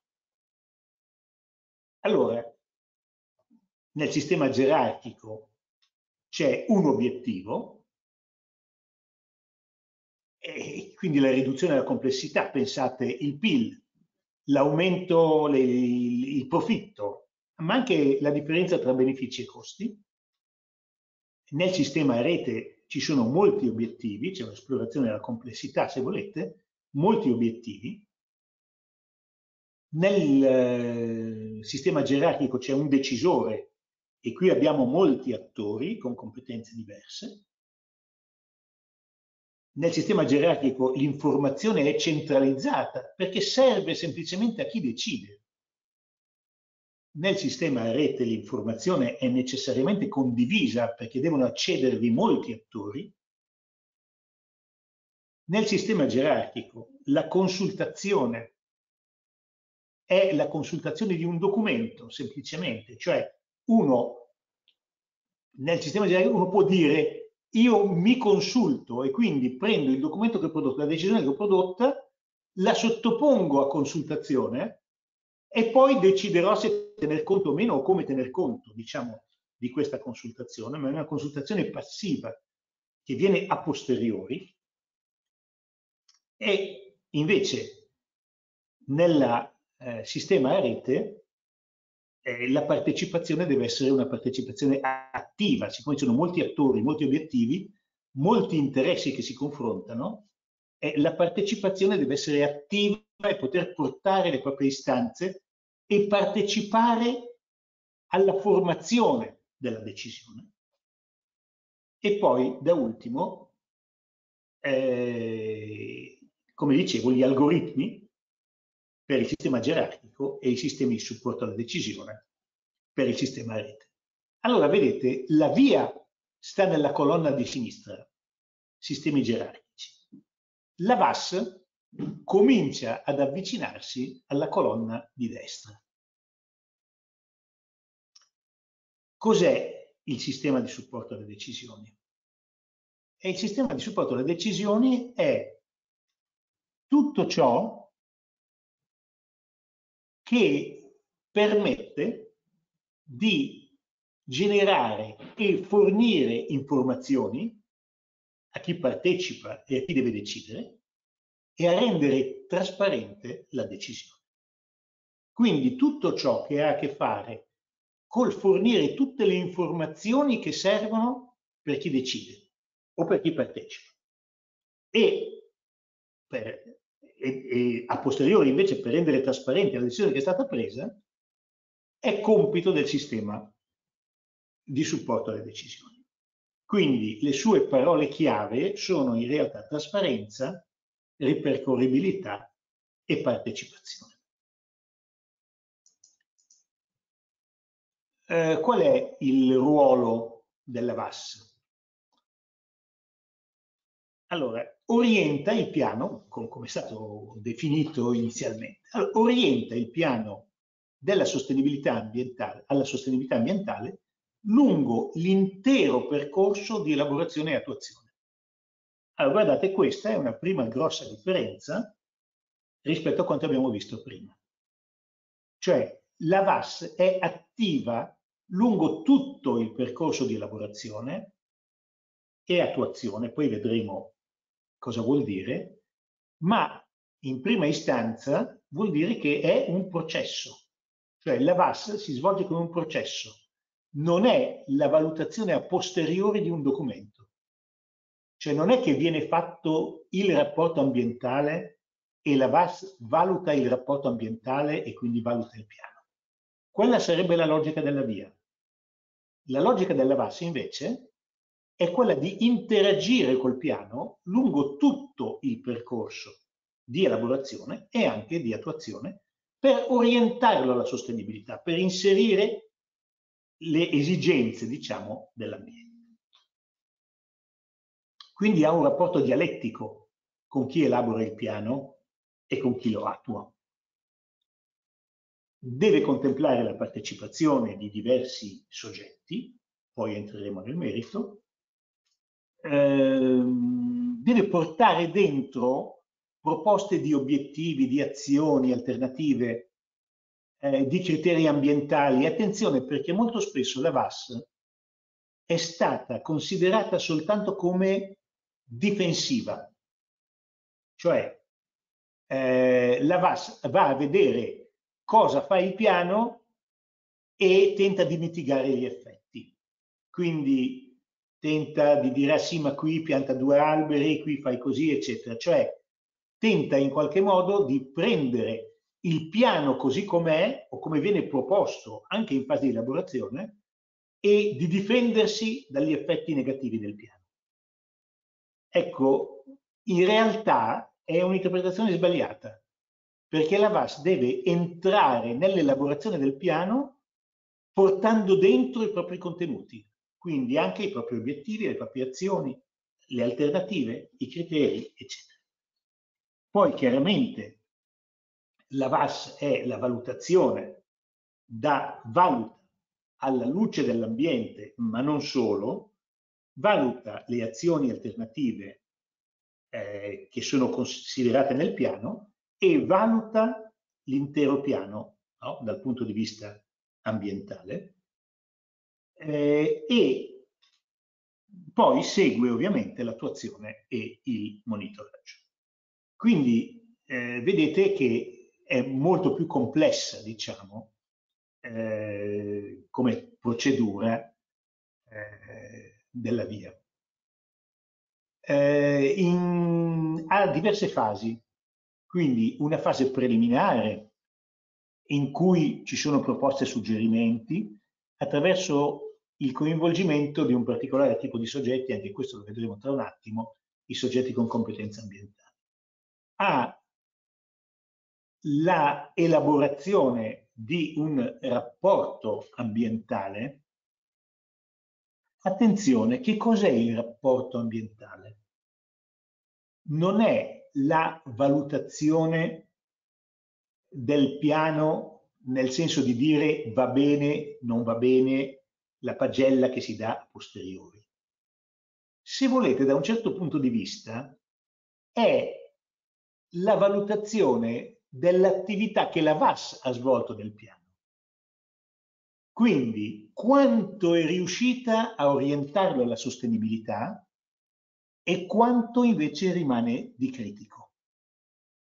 Quindi, eh, la VAS il rapporto ambientale racconta un po' il percorso che è stato fatto e mette in luce i contributi della VAS al piano e poi mette in luce le criticità, ovviamente, che sono restate e che bisogna capire se accettare oppure no. E qui subentra il parere motivato e il parere motivato sulla base del rapporto ambientale e sulla base ovviamente della consultazione che l'autorità competente fa, ma anche questo entreremo nel merito più tardi, fa con i soggetti di competenza ambientale, il parere motivato è una richiesta che l'autorità competente per la VAS, eh, è un documento ovviamente, ma che contiene la richiesta di modifiche o integrazioni. C'è una fase ovviamente in cui queste richieste vengono elaborate, accettate, c'è una dialettica di nuovo e poi c'è finalmente una dichiarazione di sintesi eh, nella quale si documenta la, come sono state accolte le richieste fatte e soprattutto nella dichiarazione di, di sintesi, che è quella che accompagna l'approvazione diciamo, del, del, piano, si, ehm, si mettono le basi diciamo, per il monitoraggio che dovrà essere eseguito secondo le indicazioni date nel parere e alla fine, durante la fase di attuazione, ci sono le relazioni di monitoraggio. Quindi la VAS segue tutto questo percorso, vedete che in alcuni momenti pubblica dei documenti, ma sono documenti ai quali ha contribuito, nei quali ha contribuito, diciamo, all'elaborazione. Qual è l'ambito di applicazione della VAS? Io mm, qui metto soltanto un paio di punti che mi sembrano importanti per poi andare a discutere, a discutere della VAS. Allora, intanto l'ambito di applicazione è stato molto discusso. Eh, la direttiva dava una lista positiva che sono i piani per cui è obbligatoria comunque la VAS senza discussione. Una lista negativa i piani per i quali non, non si deve fare, non sa da fare, e poi evidentemente una serie di piani che non sono compresi in queste due liste, quindi qualunque piano non sia compreso in queste due liste e abbia certe caratteristiche, deve andare a verifica di assoggettabilità. È quello che è chiamato screening. Allora qui vedete la lista positiva, quindi agricoltura, foreste. Molti si stupiscono a volte perché dicono ma come devo fare la valutazione ambientale di un piano che riguarda una questione ambientale? Eh, ma certo, pensate nella gestione delle foreste piuttosto che nella gestione dei rifiuti o delle acque, quante alternative avete e quante scelte negative, con effetti negativi potete fare e quindi magari su altri settori, magari siete sostenibili sul vostro, ma avete delle ricadute su altri settori.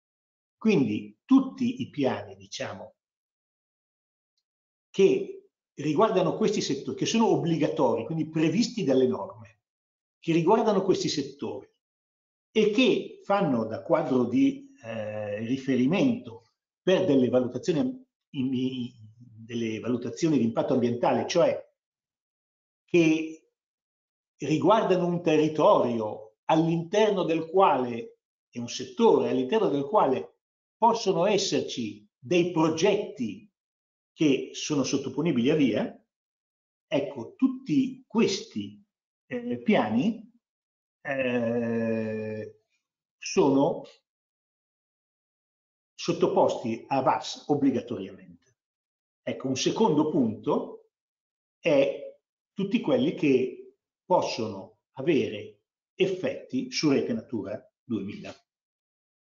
L'unica possibilità di esclusione è soltanto per in caso di piccolissime aree, di piccole aree a livello locale e per modifiche minori di piani e di programmi.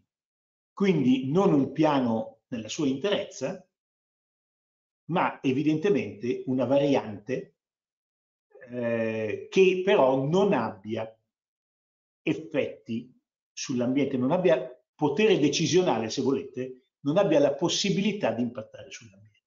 Questa è una delle cose più discusse, ovviamente. E poi c'è una lista negativa. Anche la lista negativa è molto problematica perché, per esempio, esclude tutti i piani e programmi finanziari e di bilancio.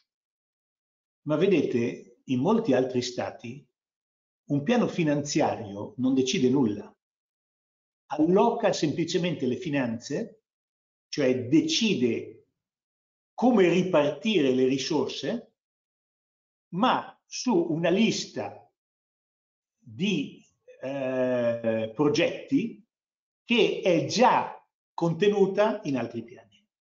Quindi non ha potere decisionale. Da noi invece la finanziaria, i nostri piani o programmi finanziari sono quelli che decidono, perché nel momento in cui allocano le risorse, è quel piano, quel, quel progetto deve andare a finire nei piani, eccetera. E allora capite che anche qui ci sono dei grossi problemi.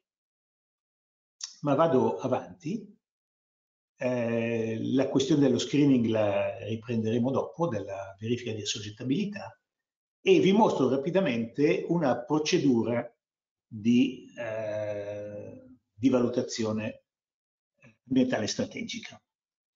Allora, prima c'è appunto lo screening, ci si chiede se il, progetto, il piano è soggetto a VAS, se è sì si va direttamente a fare la VAS, se no si fa la verifica di assoggettabilità, se sì, allora si va a fare la fase preliminare, che si chiama anche scoping, che produce il documento preliminare, poi c'è tutta la fase di integrazione nell'ambiente nel piano. E poi c'è la che arriva alla proposta di rapporto ambientale, c'è la consultazione. E ci, ci, si deve porre il problema della necessità di modifiche eh, a seguito diciamo, della consultazione c'è una revisione del, eh, della proposta di rapporto ambientale e eh, si entra nella fase ovviamente di adozione, abbiamo detto prima con il parere motivato, eccetera, e poi c'è spesso per i piani, per i nostri piani comunali regolatori c'è un doppio livello, l'adozione è separata dall'approvazione, non sempre, anzi quasi mai in Europa succede questo, e quindi abbiamo questo doppio livello, abbiamo spesso una seconda fase di consultazione, di osservazione e di consultazione e poi l'approvazione la eh, definitiva che richiede quindi eh, un aggiornamento anche eh, del parere motivato, almeno della dichiarazione di sintesi. Allora, la verifica di assoggettabilità, il primo di questi elementi.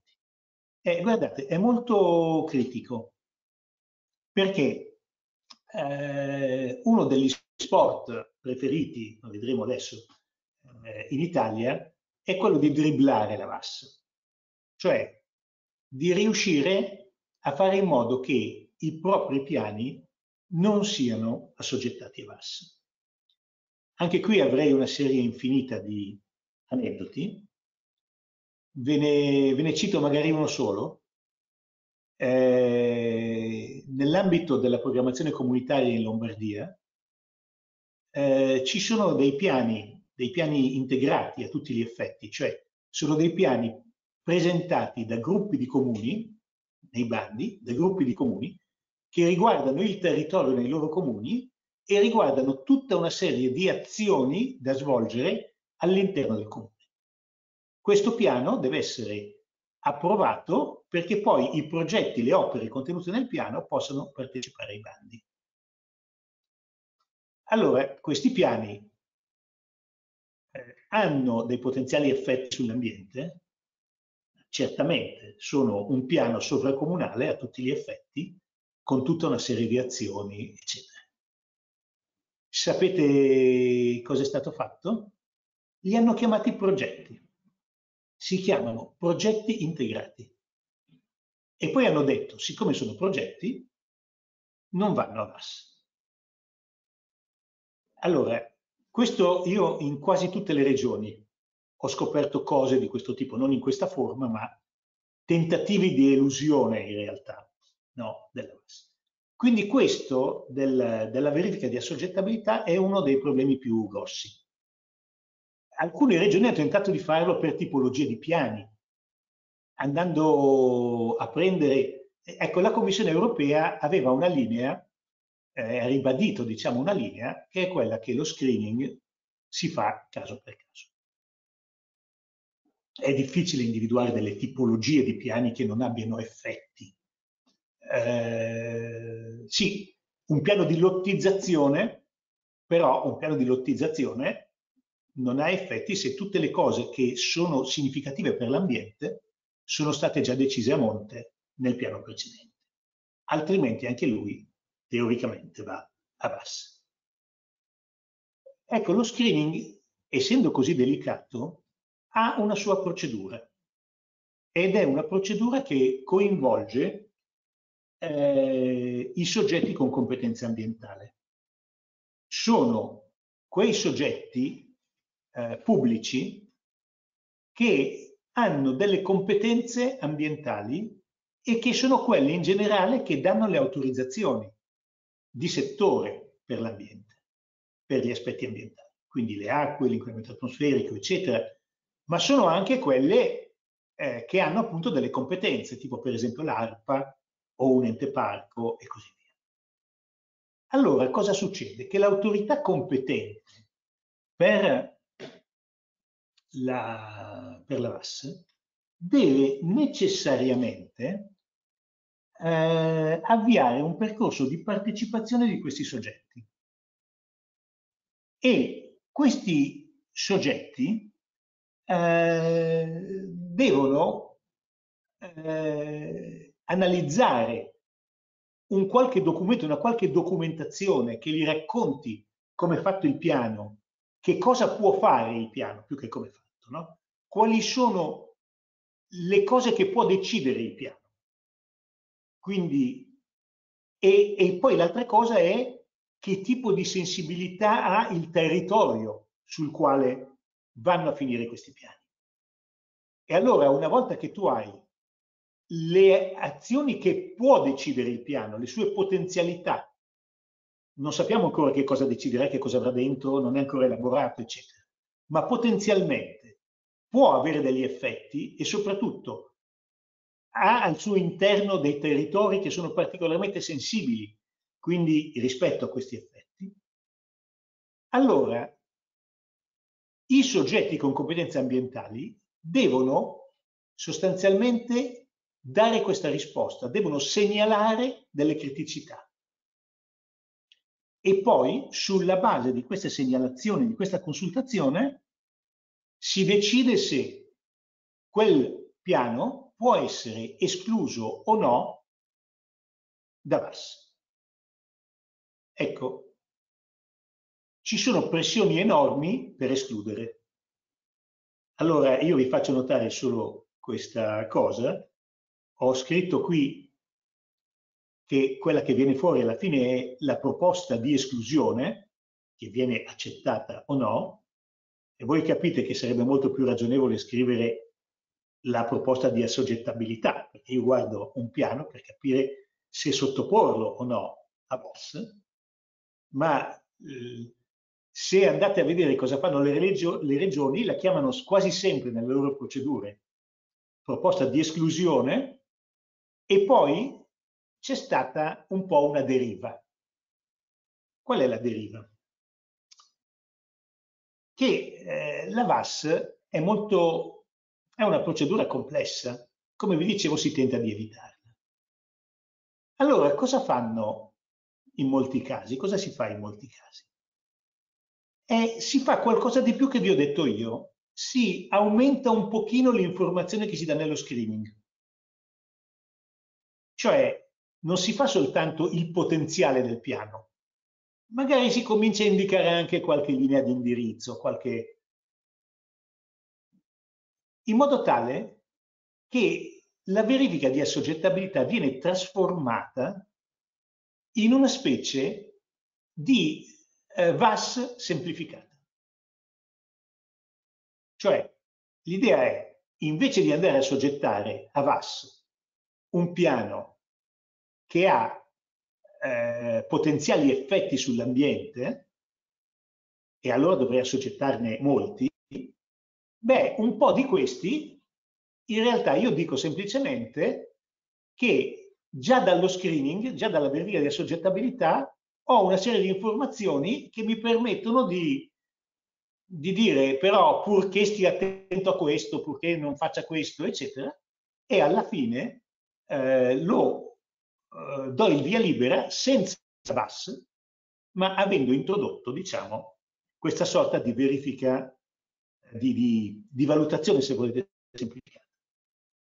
Ecco, questa cosa è totalmente fuori dalla direttiva, dai decreti, cioè non c'è, o li modifichiamo e introduciamo una base semplificata, oppure questa cosa è eh, a rischio di ricorso perché eh, non è prevista. In questo momento quello che ho previsto è semplicemente la verifica di assoggettabilità. Se è assoggettabile deve andare a VAS. E poi vediamo come fare la VAS. Ma non esiste questo livello intermedio che alcuni hanno tentato di eh, introdurre. Eh, vediamo alcune criticità nell'applicazione della VAS. Eh, intanto eh, la VAS rispetto al processo decisionale. E guarda, vi ricordate che noi abbiamo detto prima il processo per opere singole rispetto al processo per aree, all'approccio per aree? E abbiamo criticato l'approccio per aree, per, per, scusate, per progetti singoli, per opere singole, perché eh, erano separate, si consideravano separatamente le singole opere e non il territorio nel suo complesso. E guardate, noi abbiamo introdotto un approccio per aree facendo riferimento ai piani. La VAS si riferisce ai piani, ma i piani sono tanti. E tanti piani insistono sullo stesso territorio. Voi avete in generale una filiera e un mosaico di piani su un certo territorio. C'è il piano paesistico regionale, c'è magari il piano provinciale, eh, ci sono i piani di settori eh, regionali e provinciali, ma poi ci sono i piani locali e anche lì c'è il piano regolatorio, il piano urbanistico, ma poi c'è anche il piano dei rifiuti, il piano delle cave e così via. E allora capite che se noi facciamo, il rischio che abbiamo è che facendo ogni piano una VAS separata dalle altre, perché ogni piano ha il suo assessore, il suo gruppo tecnico, i suoi consulenti e così via, abbiamo un assurdo, nel senso che intanto tante VAS ripetono le stesse cose perché c'è una parte, per esempio, di analisi del contesto, eh, una parte di verifica delle criticità che ci sono nel contesto territoriale, una parte di obiettivi generali che vengono eh, dall'alto, da, da, altri, da piani sovraordinati, una, cioè una parte di indicatori comuni. Ci sono tante parti che potrebbero essere messe in comune e che invece vengono ripetute e spesso contraddittorie perché ognuno eh, le interpreta a modo suo e quindi queste VAS non sono nemmeno spesso coordinate tra di loro. E allora il difetto che volevamo eh, togliere alla via, in realtà ce lo ritroviamo eh, nella VAS. Allora, uno dei eh, tentativi di superamento è quello di proporre dei quadri strategici di riferimento. Cioè, come la VAS fa da quadro alla valutazione di impatto ambientale, quindi fornendole tutte quelle informazioni che avete visto prima, e qui noi abbiamo bisogno di un quadro strategico di riferimento su una base territoriale più ampia che dia alla VAS gli strumenti per permettere non solo di semplificarla, ma anche di finalizzarla meglio, cioè che la VAS si occupi di un certo piano, di un certo territorio, si occupi esattamente di quello perché si inserisce dentro un percorso, dentro un quadro di riferimento che ha già sistemato alcuni degli aspetti.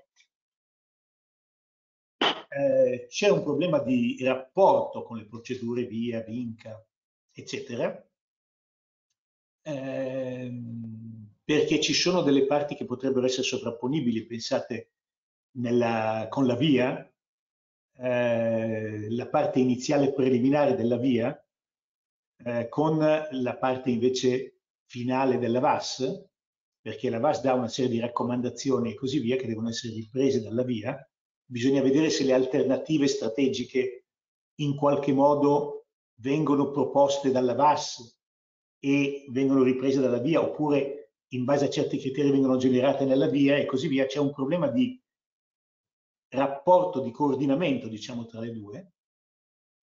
Poi eh, ci sono anche problemi di, del fatto che sono strutture diverse, perché la via è prescrittiva, da una serie di prescrizioni, mentre la VAS, come avete visto, eh, tenta di arrivare a un parere, a un rapporto condiviso eh, con una serie di raccomandazioni e così via. Eh, c'è il problema della VAS trasfrontaliera, ovviamente, che eh, si applica non solo, come sembrerebbe dire il nome, eh, e quindi a voi riguarderebbe poco, eh, ai confini eh, nazionali, ma in realtà riguarda anche i confini comunali, per esempio.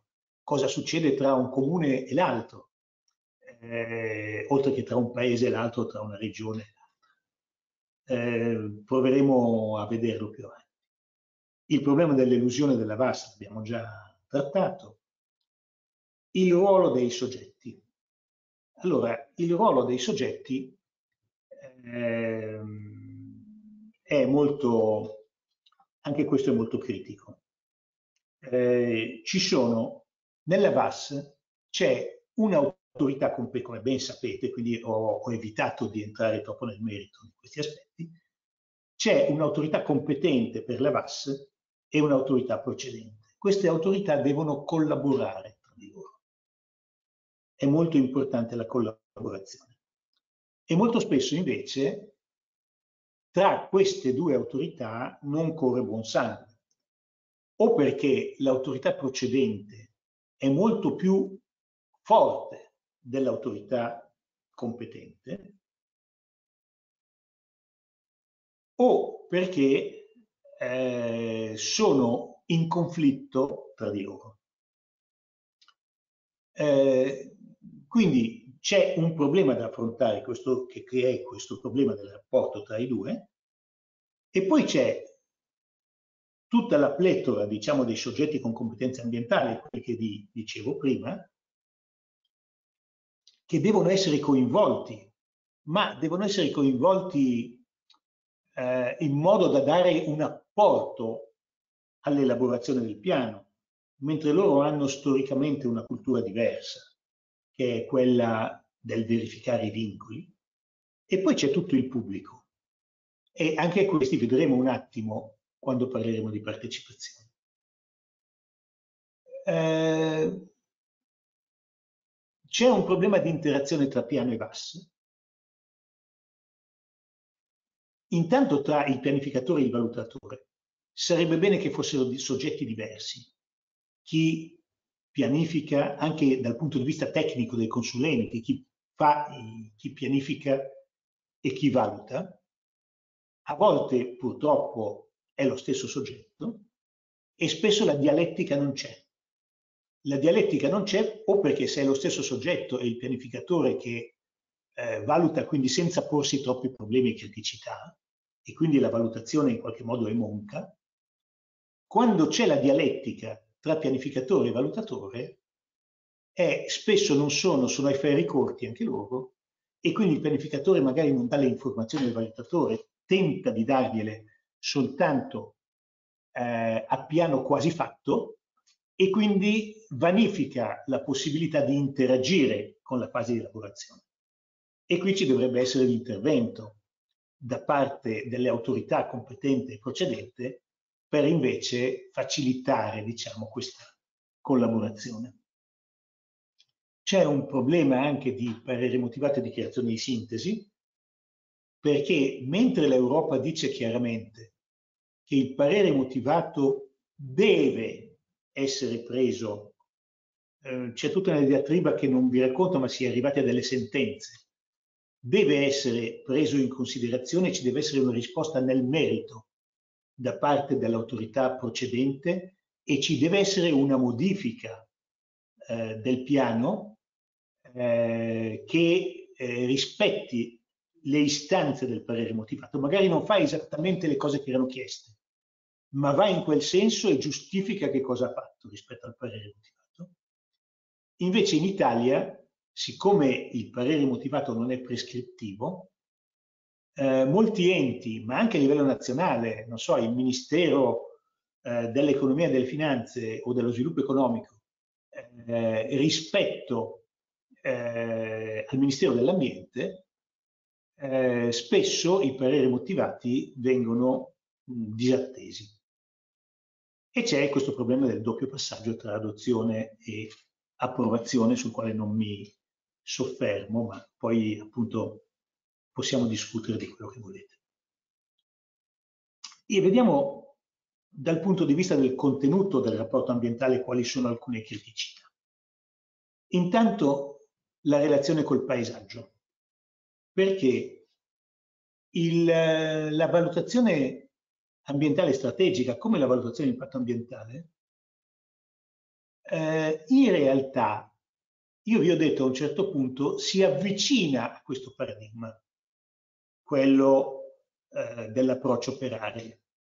Perché? Perché in realtà ha un approccio per aree, nel senso che va a guardare i piani, ma poi all'interno ha ancora un approccio per componenti ambientali singole, cioè va di nuovo un po' a ridurre la complessità se volete e va a guardare gli, singolarmente gli aspetti, la qualità dell'aria, il suolo, eccetera.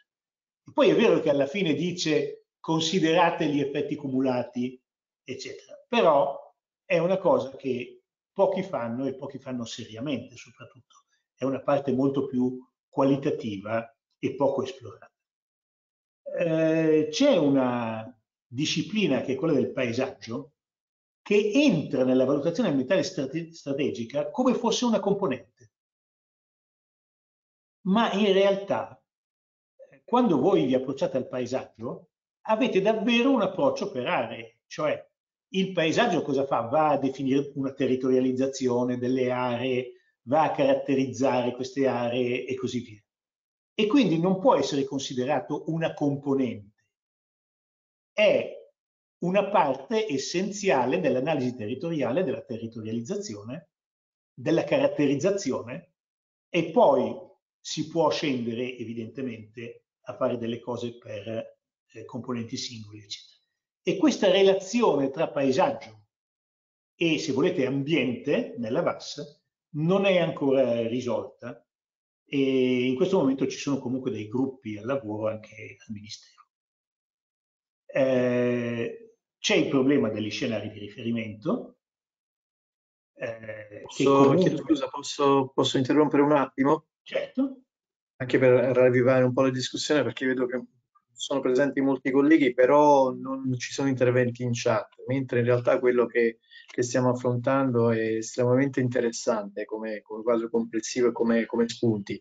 Eh, riguardo al paesaggio, eh, parecchi hanno una concezione di tipo mh, mm, eh, delle soprintendenze, cioè il rapporto sì. con determinati paesaggi bello, brutto, da tutelare, da non tutelare. In realtà il tentativo che stiamo facendo noi e qualche accenno c'è anche nel, nel documento di indirizzo, è considerare il paesaggio quasi come sinonimo di ecosistema, perché l'approccio del, del, per ecosistemi, approccio ecosistemico, è un tentativo di considerare la complessità.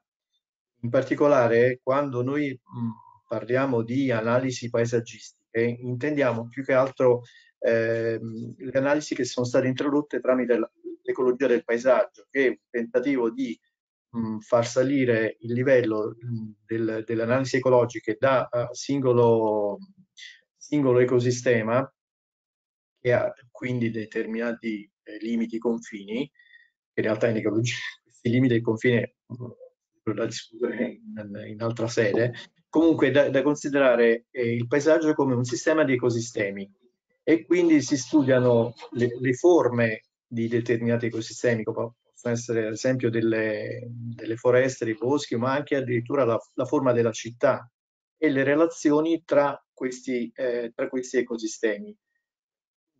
Faccio questo accenno perché eh, qual, qualche indicazione l'abbiamo data proprio nei, eh, nel documento di indirizzo e nel giro di presentazione che abbiamo cominciato a fare prima del, del Covid mh, avevo mostrato le, le applicazioni pratiche eh, abbastanza semplici peraltro, attraverso le quali è possibile considerare la, la complessità del paesaggio.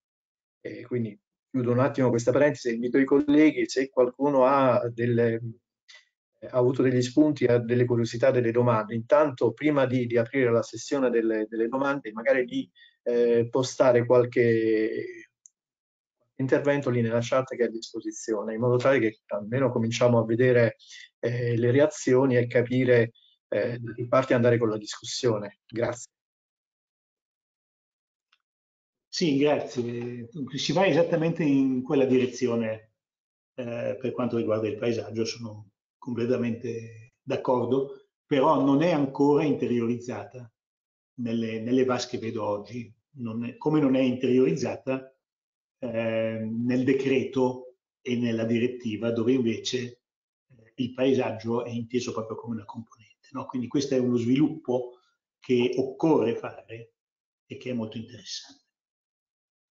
E un secondo aspetto critico sono gli scenari di riferimento, perché molto spesso si continua eh, a valutare in base alla fotografia della situazione, cioè gli scenari di riferimento che effettivamente sono problematici e difficili perché richiedono di inserire anche una discussione di tipo probabilistico, no?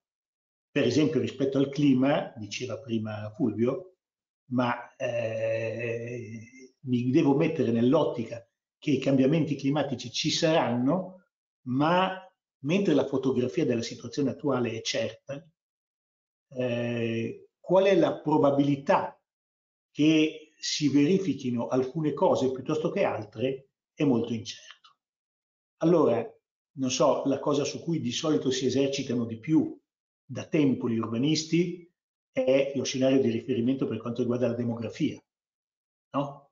E molto spesso eh, questo ha portato a creare piani eh, molto sovradimensionati, diciamo dal punto di vista dell'edilizia, eh, proprio perché ognuno immaginava nel suo comune di attrarre molte persone però capite, i comuni sono in concorrenza tra loro e quindi alla fine eh, moltissimi, eh, non, è solo, non, è solo, per questo motivo che si è costruito tanto, ma eh, costruire uno scenario di riferimento che abbia un senso e eh, rispetto appunto sia agli aspetti ambientali che agli aspetti sociali è una delle sfide eh, cui dovrebbe dare una mano un po' quello che chiamavo prima il quadro di riferimento eh, per le diverse VAS. Poi ci sono le, il problema delle alternative. Eh, qui eh, ci sono due possibili accezioni delle alternative, le vedremo poi quando parleremo di alternative, l'alternativa di piano o le alternative all'interno del piano. Ma quello che noi rileviamo è comunque che le alternative non ci sono. Non perché non ci siano, ma perché di solito eh, i pianificatori e anche il livello politico, diciamo, non gradiscono spesso le alternative. Quindi magari se voi andate a interrogarli e dicono perché hanno scelto una certa cosa, e voi gli chiedete ma come mai avete scelto questa? E magari loro vi dicono ah perché quell'altra non andava bene, perché questa invece aveva dei problemi, eccetera. Però tutto questo percorso con cui sono arrivati alla decisione non viene reso evidente. E quindi non c'è la possibilità di interagire e di capire i motivi reali delle scelte, le alternative che c'erano e magari nel corso della pianificazione di proporre da parte di chi partecipa altre alternative. Quindi questa parte delle alternative nelle VAS che vediamo in giro è estremamente critica. Eh, ovviamente l'avevo già accennato prima, gli effetti cumulati, anche qui è una cosa che non si faceva e quindi che si introduce nella VAS e che prima nella via non c'era. E anche qui eh, ci sono delle cose qualitative, ma diciamo eh, si riescono a fare solo per alcuni aspetti non so, pensate per esempio alle emissioni. Allora certo, siccome c'è un inventario delle emissioni, ci sono le emissioni cumulate sul territorio, a volte. Eh, ma su altre cose si è molto più indietro e c'è una sfida proprio per riuscire ad affrontare il problema. C'è il problema della progettazione del monitoraggio, progettazione e realizzazione del monitoraggio, ma perché eh, spesso la progettazione del monitoraggio si riduce a produrre un elenco di indicatori. Quindi voi avete lì un elenco di indicatori che resta lì e evidentemente non è di nessuna eh, utilità. La progettazione del monitoraggio, anche questo lo vedremo, è ben altra, è ben altra cosa.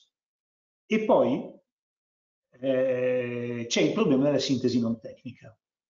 E voi sapete che il rapporto ambientale deve essere accompagnato da una sintesi non tecnica e spesso questa sintesi non tecnica è scritta in linguaggio tecnico e quindi risulta incomprensibile, è troppo lunga perché vuole essere esaustiva di tutto ciò che c'è nel rapporto ambientale. Anche su questo c'è una grossa discussione. A volte viene scritta in linguaggio non tecnico, ma allora, e però eh, a volte non contiene gli effetti, cioè la sintesi non tecnica dovrebbe mettere in luce le criticità in modo evidente e in modo chiaro, comprensibile a tutti. È chiaro che se le annega dentro 200 pagine eh, invece delle 600 magari del rapporto ambientale non, non serve, ed è chiaro che se invece è molto generica e non mette in luce queste criticità, anche se è comprensibile, non dà nessun contributo. Quindi anche questo è un aspetto fortemente in discussione su come dare delle linee guida molto precise anche a livello nazionale sulla sintesi non tecnica. E poi ci sono le, le difficoltà e le critiche, i problemi eh, nell'attuazione e nel monitoraggio. Eh, il monitoraggio, io, io dico sempre che è un'arma felice, nel senso che io, nella grande maggioranza dei piani che vedo, magari c'è il capitolo monitoraggio perché è obbligatorio, ma poi una volta finito il piano, una volta approvato il piano, muore tutto lì. resta quell'elenco di indicatori e il monitoraggio non c'è. Quando c'è, è un monitoraggio del tutto insoddisfacente. Questo è un problema che non abbiamo solo noi in Italia, è un problema a livello europeo, quello del monitoraggio, e anche questo, diciamo, lo affronteremo, lo affronteremo nella, nella parte più tecnica. E poi ovviamente ci sono i tempi e i costi della VAS, contro cui tutti si eh, scagliano più, più, della via, ma anche della VAS, e però eh, capite che alcune delle cose che vedremo, il quadro di riferimento, la, la possibilità di unificare alcune cose, di mirare di più la VAS, eh, fare una partecipazione seria, eh, fare, cioè sono nell'ottica, se volete, non tanto di semplificare, perché eh, semplificare ha spesso un'accezione che è quella di banalizzare. Cioè voi semplificate quando tagliate i tempi, quando dite non si deve più fare la VAS di quel piano lì, poi si deve fare senza attivare la partecipazione in quella, oppure eccetera eccetera. Quella è una banalizzazione, non è una semplificazione, perché quello toglie allo strumento la possibilità di svolgere il proprio compito. Vi ricordate la governance? In realtà quello di cui abbiamo bisogno è il governo della complessità. Dobbiamo imparare a governare la complessità facendo in modo che gli strumenti non siano ridondanti, ripetitivi, eh, costosi perché appunto non hanno le informazioni giuste e devono ripetere tutta una serie di fasi, che la partecipazione sia ben orientata in modo anche quella da non essere ripetitiva, cioè rendere più efficiente in realtà ed efficace tutto il processo, ma senza perdere capacità di incidere. Eh, qui io avevo alcune slide eh, che erano di considerazioni che forse eh, possiamo, possiamo saltare. Ve le lascio lì perché la maggior parte di queste eh, le abbiamo, le abbiamo già viste parlando. Eh, c'è un, una cosa sui piani che volevo dire. Il rapporto con i piani che abbiamo appena accennato. E guardate, purtroppo la VAS è la VAS del piano, in particolare dei piani urbanistici, in questo caso era la mia slide. E il problema è che i piani sono cambiati. E i piani oggi, forse anche in parte per evitare i problemi della VAS, eh, e forse perché appunto le cose cambiano nel tempo, anche le esigenze, i territori, si riflette sulle cose, ma i piani sono sempre più eh, dei, dei piani che ratificano decisioni prese altrove. Cioè si fanno accordi di programma, si fanno tutta una serie di scelte e poi il piano tende semplicemente a ratificarle. E quindi capisce, per la VAS entrare a elaborare il piano mettendo contenuti ambientali eccetera su scelte che appaiono già prese nel momento in cui si elabora il piano diventa difficile. Il piano spesso non accetta di mettere in discussione le proprie scelte.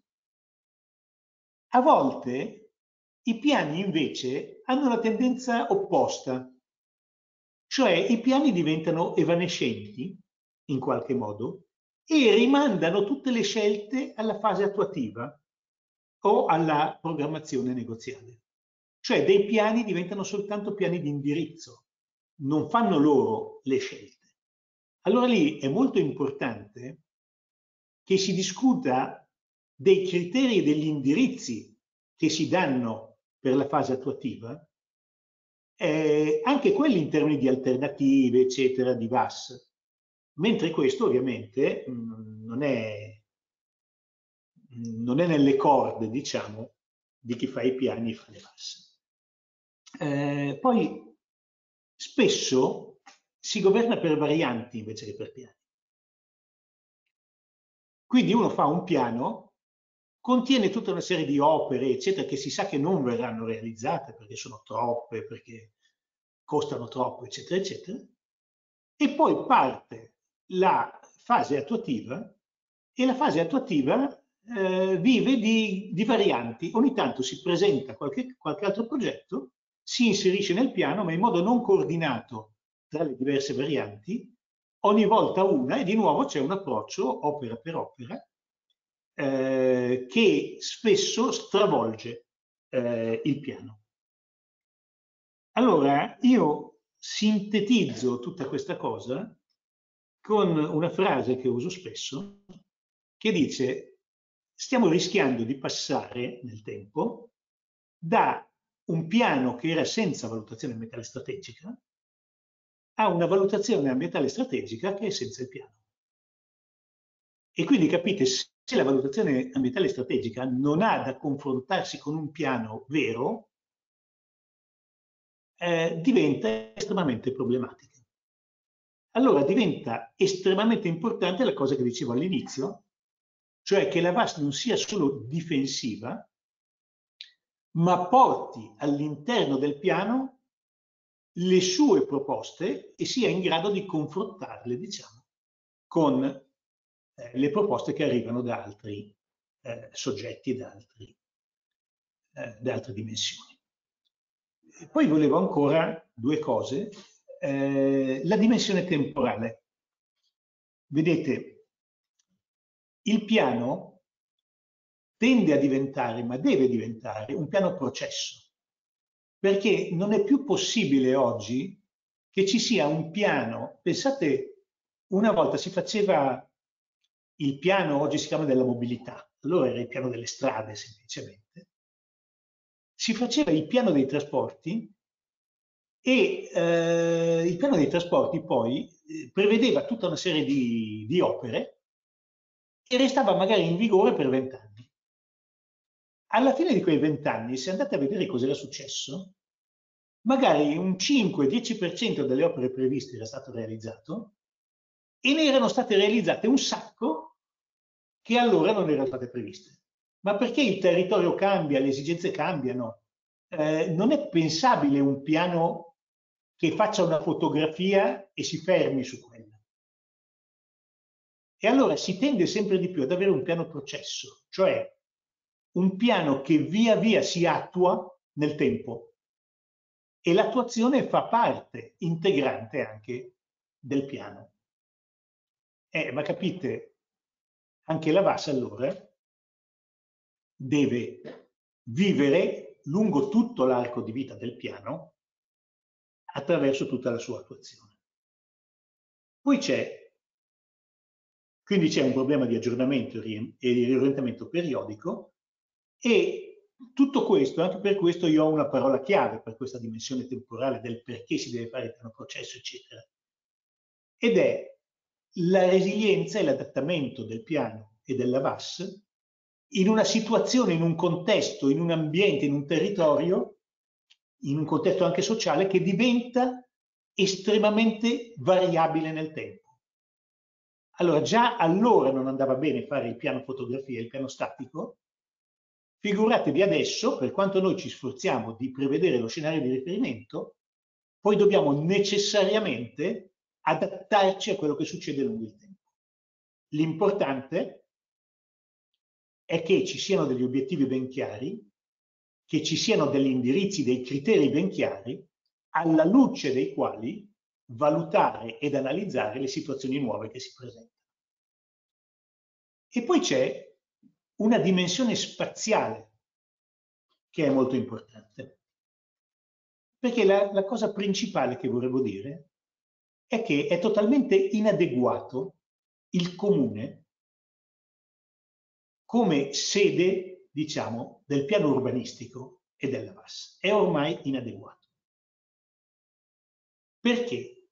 Perché tutti eh, gli insediamenti sul territorio e tutte le attività sul territorio e tutto anche il territorio naturale ha dei confini che non corrispondono mai ai confini naturali di un comune, che di solito o stanno all'interno di un comune, sono una porzione, o stanno su un ambito sovracomunale, cioè interessano molti comuni. E allora capite che le politiche per governare quegli elementi devono essere politiche che tengono conto del loro, se c'è un distretto industriale o se c'è uh, un bacino di un fiume o se c'è un'area agricola, diciamo, di un certo tipo, eh, noi dobbiamo eh, avere quelli come territori di riferimento per le politiche ovviamente sull'agricoltura piuttosto che sugli altri aspetti. E allora è molto importante la dimensione spaziale. E dall'esperienza il singolo comune non ha la possibilità di applicare le politiche, ovviamente a territori più ampi, ma non ha neanche la possibilità di analizzare, di darsi delle strategie e così via, eh, che non possono essere conflittuali con quelli di altri comuni e così via. Allora, c'è questo problema che di nuovo dovrebbe risolvere il quadro di eh, riferimento, eh, il quale potrebbe aiutare a risolvere altri problemi, quindi non solo la base di conoscenza comune, i processi partecipativi che in parte possono essere comuni, gli obiettivi limitatori, eccetera, ma potrebbe risolvere anche il problema dell'autorità competente. Perché molto spesso eh, nei singoli comuni, almeno io lo vedo nei piccoli comuni di alcune regioni, che hanno delegato all'autorità competente locale eh, la VAS, ecco l'autorità competente a livello di comune, di piccolo comune, spesso non è in grado di svolgere il suo ruolo non si riesce a trovare la competenza giusta e soprattutto l'autorevolezza all'interno del comune piccolo. D'altra parte, dicono queste regioni, eh, ma mh, ha ragione, essendo molti i comuni ed essendo piccoli comuni, noi non riusciamo a centralizzare l'autorità competente a livello provinciale o regionale perché sarebbe questa autorità troppo lontana dai territori per riuscire a entrare davvero e a gestire davvero il processo di eh, dialogo, di collaborazione con l'autorità eh, procedente nel costruire il piano, di gestione della partecipazione e così via. L'autorità competente diventa, ha a quel punto una funzione soltanto quasi di controllo, di verifica, di coerenza, cioè prende eh, i rapporti sviluppati dai singoli comuni e in qualche modo eh, dà dei giudizi, dei pareri, chiede delle modifiche, eccetera, eccetera. Ma non è questo il suo ruolo, dovrebbe essere molto più ampio. E allora capite, è un problema difficile, mentre nelle regioni si riesce ad avere delle autorità competenti di un certo peso, di una certa competenza, che quindi riescono a far fronte ai loro compiti, eh, nei piccoli comuni, anche nei grandi comuni ci si riesce a volte, nei piccoli comuni è difficilissimo. Allora la, una proposta che si fa è quella di nominare delle autorità competenti su un livello territoriale, su un ambito territoriale sovracomunale più ampio, che comprenda diversi comuni. Quindi in qualche modo, attraverso ovviamente una condivisione con i comuni, i comuni in modo condiviso eh, decidono un'autorità competente che però vale per un ambito territoriale più ampio, ma non così ampio come la regione o eh, la provincia. Quindi anche questo è un dibattito, diciamo, che è, che è in atto. Ehm, allora, avere tutti questi quadri di riferimento di cui parlavo e adesso ci arriviamo, vuol dire articolare una strategia eh, a livello territoriale, fino a livello di questi ambiti sovracomunali sui quali dovrebbe svolgere una serie di compiti della VAS, quelli che possono essere comuni, diciamo, condivisi tra più comuni, semplificando sì questa volta ma liberando risorse per fare la VAS in modo, in modo più serio. Allora, qual è il ruolo del quadro di riferimento? Il ruolo del quadro di riferimento è, eh, vado, vado qui un po' veloce perché poi lo, forse lo rivedremo, comunque è di fare un'analisi delle tematiche ambientali sul territorio che considera. Quindi può essere a livello nazionale l'Italia, ma può essere a livello di un ambito sovracomunale eh, 10 comuni. Allora fa un'analisi per tematiche ambientali, quindi mette in evidenza criticità, opportunità, principali indicazioni derivanti da piani e programmi sovraordinati, eh, scenari di riferimento per quell'area, poi gli obiettivi di sostenibilità ambientale, quindi quelli prioritari per quell'ambito, tra tutti quelli prodotti, diciamo, dalle strategie e così via, e eh, ulteriori punti di attenzione, diciamo, specifici, mettendo in luce appunto punti di attenzione specifici per singole aree nell'ambito eh, dell'ambito, all'interno dell'ambito. Poi le possibili tipologie di intervento che ci possono essere in, quel, eh, in quell'ambito, quindi che cosa favorire e che cosa evitare per raggiungere gli obiettivi, eh, e poi per queste tipologie di azioni che sono prevedibili nell'ambito, i potenziali effetti positivi e negativi e gli strumenti attuativi.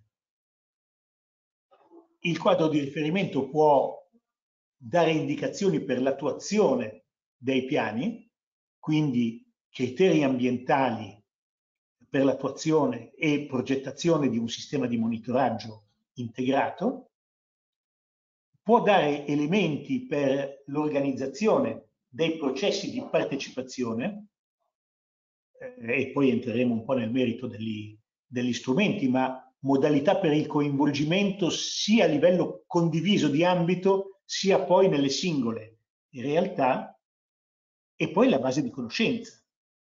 Quindi è il capacity building, cioè gli strumenti conoscitivi, le, eh, gli strumenti per il potenziamento eh, delle capacità locali, diciamo, eh, programmatiche e progettuali e eh, nella base di conoscenza ovviamente il nucleo di indicatori che è necessario, diciamo, per, eh, di, di, indicatori comuni eh, che vengono proposti a quel livello, a quella scala, diciamo, per i diversi piani.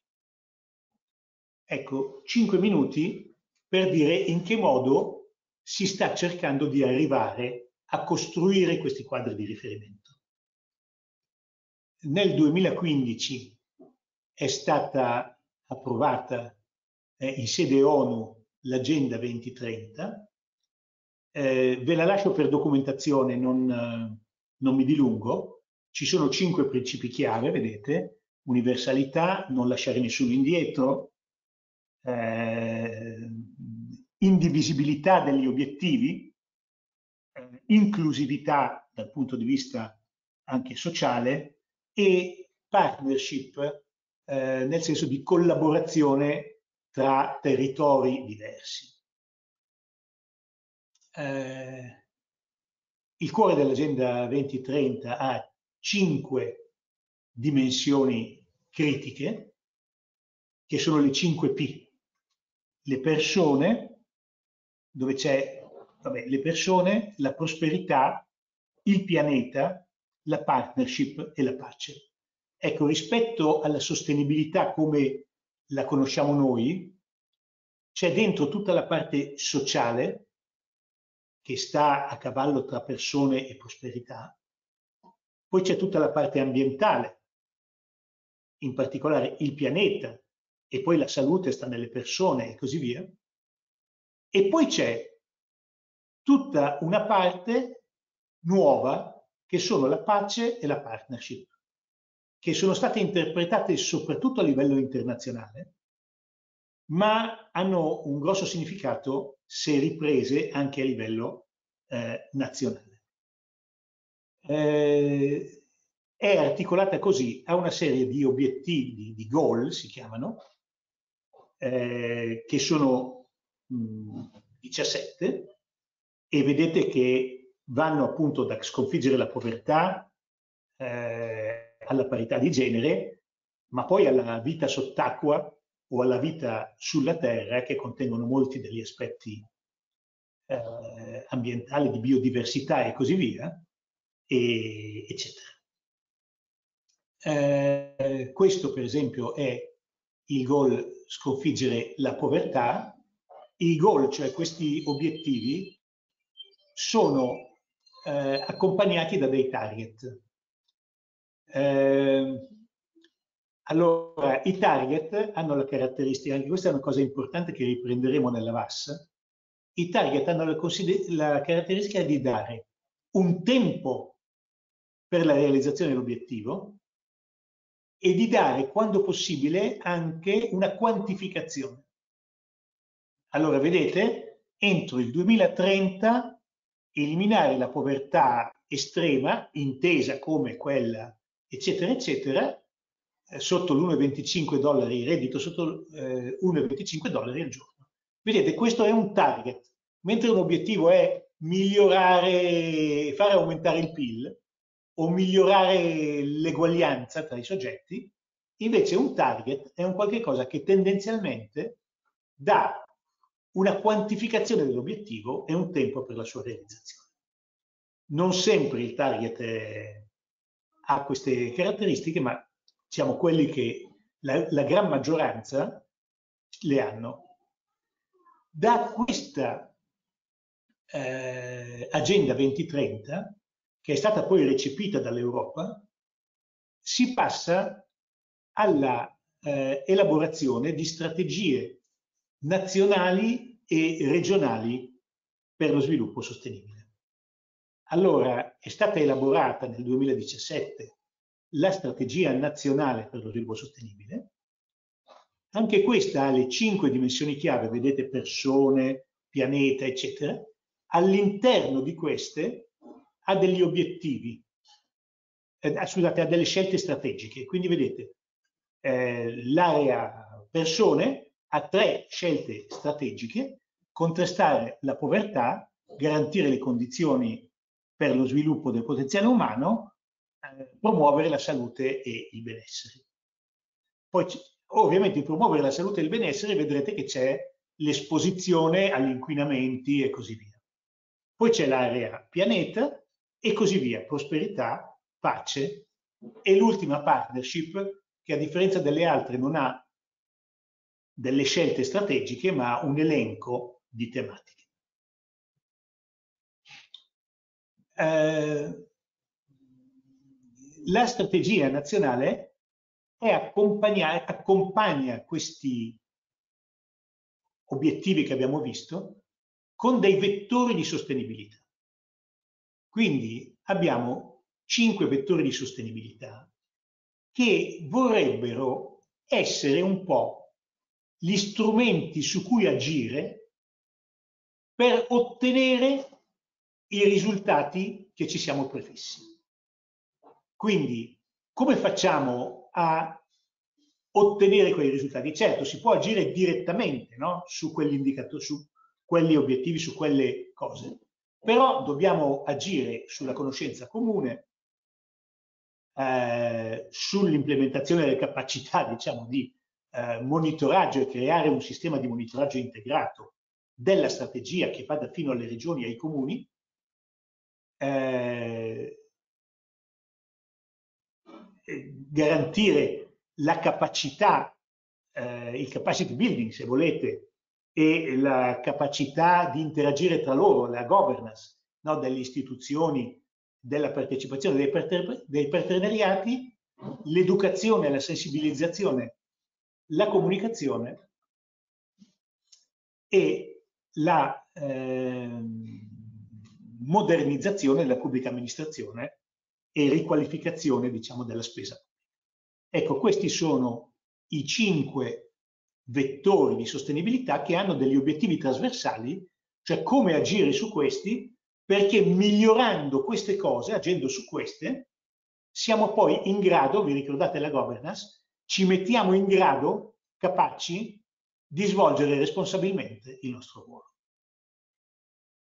Eh, ci sono degli obiettivi strategici della strategia nazionale, quindi ogni eh, scelta strategica ha degli obiettivi. Qui vedete per esempio gli obiettivi della eh, scelta strategica 1 eh, dell'area persone, però la strategia non ha i target.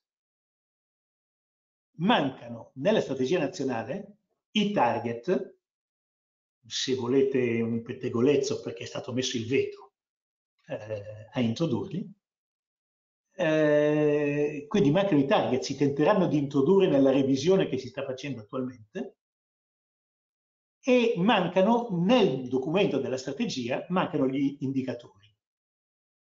Ecco, c'è stato invece un lavoro, c'è stato a questo punto un lavoro del Ministero per definire gli indicatori, una serie di indicatori, e eh, c'è un tavolo indicatori e l'Istat sostanzialmente ha proposto di inserire una serie di indicatori. Sono 43 indicatori, vediamo di andarli eh, a prendere, non ce li ho ovviamente tutti, eh, si prende quindi ogni obiettivo ha una serie di indicatori, ma in questa fase c'è questo vincolo.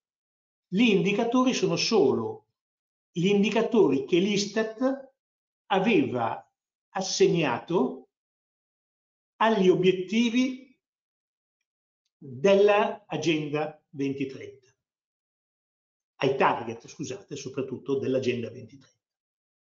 Erano 43 indicatori, si sono presi questi 43 indicatori e in qualche modo si è tentato di assegnarli agli obiettivi della strategia nazionale. Il risultato è del tutto insoddisfacente, nel senso che alcuni Ecco, alcuni obiettivi sono coperti da indicatori significativi. Altri obiettivi invece sono rimasti o totalmente senza indicatori significativi, perché le fonti sono altre, eh? O coperte da indicatori non significativi per quell'obiettivo, almeno non abbastanza.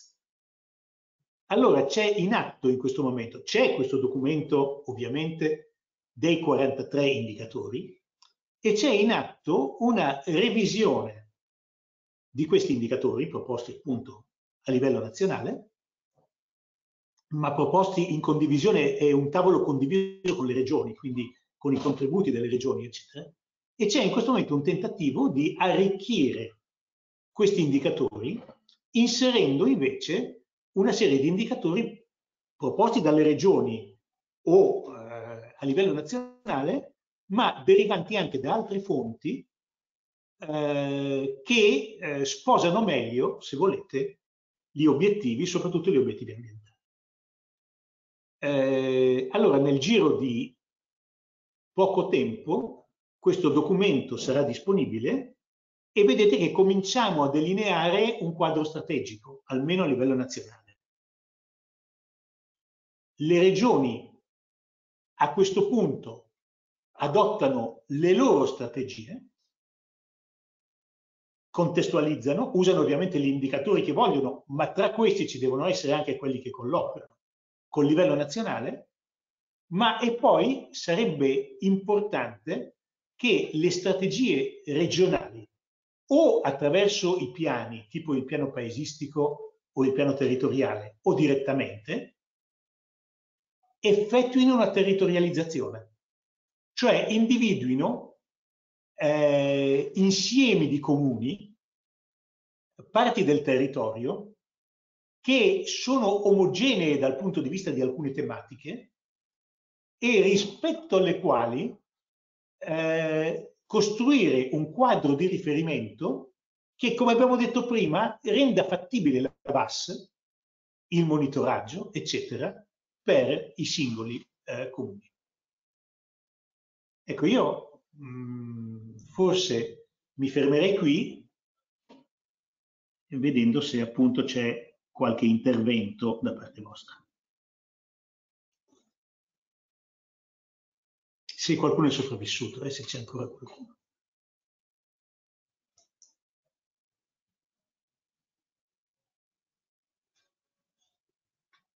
Grazie al professor Blagnato, è stata un'introduzione a largo raggio e ha chiarito moltissimi aspetti. I colleghi che sono collegati sono, sono quasi tutti ehm, tecnici dei comuni delle Marche. Spero che qualcuno abbia qualche domanda perché questa è l'occasione per, per entrare sempre di più nel, nell'argomento e ad avere dei chiarimenti. Potete anche scrivere in chat eh, senza intervenire in, in voce.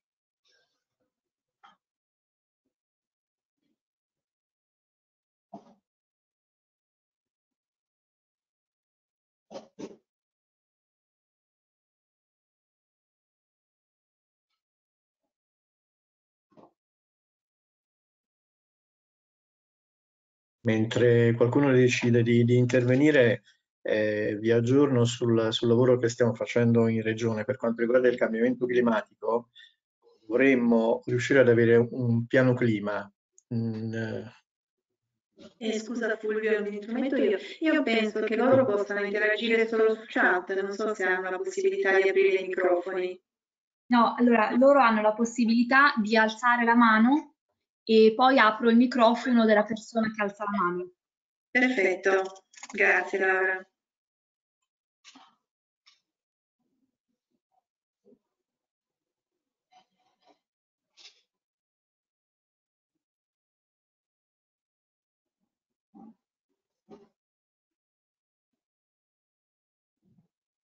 E Fulvio, se vuoi continuare, scusa l'interruzione, puoi continuare. Sì, aspettavo che intervenisse qualcuno. Comunque sono degli aggiornamenti brevissimi del lavoro che stiamo facendo in Regione che eh, dovrebbe essere di, anzi sarà sicuramente di ausilio e di supporto per, per i comuni. E in particolare stiamo cercando di capire eh, sul territorio le conseguenze del, del, cambiamento climatico in modo tale da offrire un quadro di riferimento, almeno da, da questo punto di vista, eh, aggiornato e utile per, eh, per, le VAS, ma in generale per tutto quello che riguarda la pianificazione e programmazione a livello locale. E in più, come, come, diceva il professor Laniado, stiamo lavorando a, a un set di indicatori che dovrebbero essere indicatori VAS barra strategia, cioè eh, a partire dai 43 indicatori stabiliti a livello nazionale, ai quali comunque dovremmo recepire e, e popolare anche per contribuire con la strategia regionale e nazionale, eh, inseriremo altri indicatori tipici del nostro territorio per, per comprendere, per, per, effettuare il piano di monitoraggio dei piani e programmi eh, nelle Marche. In più, ancora un altro accenno, questo non l'abbiamo inserito nel, per il momento nel documento di indirizzo, eh, ma è una possibilità di effettuare delle, delle, analisi territoriali tramite sistemi operativi e sistemi informativi territoriali. Eh, di voi sicuramente conoscerà il QGIS.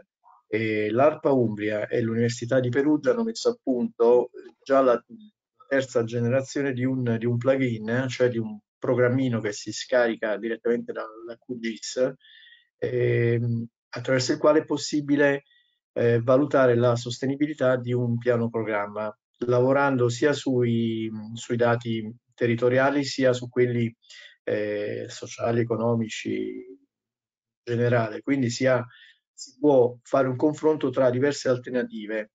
All'interno di questo, questo plugin eh, c'è l'algoritmo Topsis. Se qualcuno è curioso può andare a vedere in bibliografia di cosa si tratta. Su questo sicuramente il professor Naniado avrebbe molto da dire però adesso penso che sia il caso che qualcuno di voi eh, chieda, insomma, penso forse eh, l'argomento sul quale parecchi di voi potrebbero essere interessati è, lo screening, lo screening di VAS. Il 90 e oltre circa il 95% dei procedimenti di VAS che si svolgono in regione eh, consistono appunto nella verifica di assoggettabilità a VAS con o senza prescrizioni. Quindi penso che su questo argomento ci sia, ci sia abbastanza da discutere.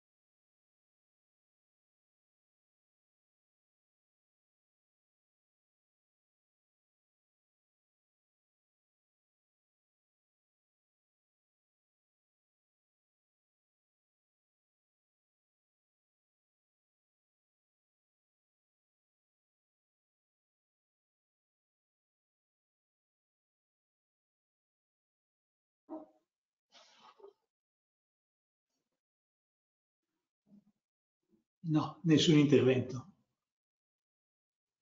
Abbiamo una mano alzata di Silvia Vittorina. Adesso. Silvia, puoi aprire il tuo microfono adesso. Mi sentite? Sì. Sì. Eh, ah, perfetto. Sono Sorania Silvia, io lavoro per il Parco Interregionale del Sasso Simone Simoncello, quindi non mi occupo direttamente di VAS, però mh, condivido molto tutto quello che è stato detto, fra l'altro ragionamenti di, veramente di alto profilo rispetto a quello che spesso magari abbiamo noi modo di confrontarci, ma volevo fare solo una, una domanda. Eh, siccome io mi occupo più da vicino di valutazione di incidenza, in quanto il nostro parco rientra in un'area anche a SIC e ZPS, insomma nell'ambito di Rete Natura 2000, se, ehm, se, e ho visto che a un certo punto in una slide era mh, indicata come criticità questo fatto che la Vinca rientri nel processo di VAS. Eh, siccome c'è anche fra l'altro in corso un'importante revisione di, tutto che, di tutta la, la, diciamo, la procedura di valutazione di incidenza legata alle nuove linee guida nazionali che sono uscite poco tempo fa, insomma un anno fa circa, e che adesso anche le regioni appunto stanno, sono in corso di recepimento. E effettivamente anche eh, in queste linee guida nazionali ho notato l'analogia insomma con quanto lei ha detto eh, riguardo la procedura di VAS, che si tende a, ehm, come dire, a, a dare una, un, a incentrare la procedura come un processo, non tanto appunto di, da valutare un progetto e poi dire sì o no, mettere solo dei vincoli o delle prescrizioni, ma inserire anche la valutazione di incidenza nell'ambito di un procedimento che diventi un processo, diciamo, analitico, un processo di, di, eh, di formazione, insomma, anche attraverso il rapporto con il pubblico per arrivare poi alla soluzione migliore e quindi anche più sostenibile. Eh, mi domandavo se questa cosa può rientrare, come può rientrare nell'ambito della VAS quando appunto si analizzano delle valutazioni di incidenza che rientrano nell'ambito di tale procedura e, ehm, e, quindi insomma avere un po' la sua opinione in merito.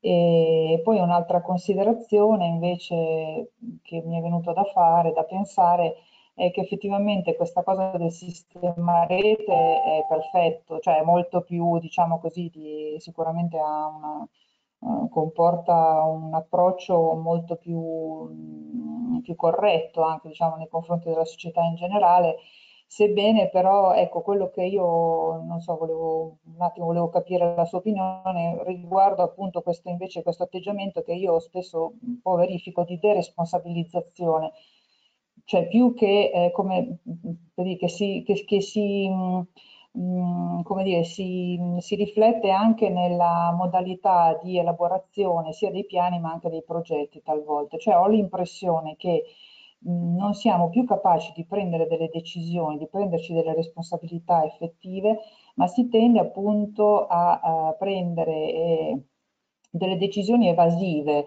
eh, un, un po' evanescenti, come lei diceva eh, come, come, se questa strada fosse poi alla fine la migliore perché ci consente poi di agire come ci pare senza prenderci delle effettive responsabilità. Io ho notato spesso questo, questo, questa cosa anche nei progetti, cioè non vengono più affrontate veramente le cose che vengono fatte, si tende a rimanere molto nel vago e anche se si chiedono dei chiarimenti, delle argomentazioni in merito per capire meglio qua, quando quanto vada a incidere un piano, un progetto su una determinata realtà ambientale, la risposta non arriva. Eh, questo insomma lo trovo un po' drammatico. Grazie.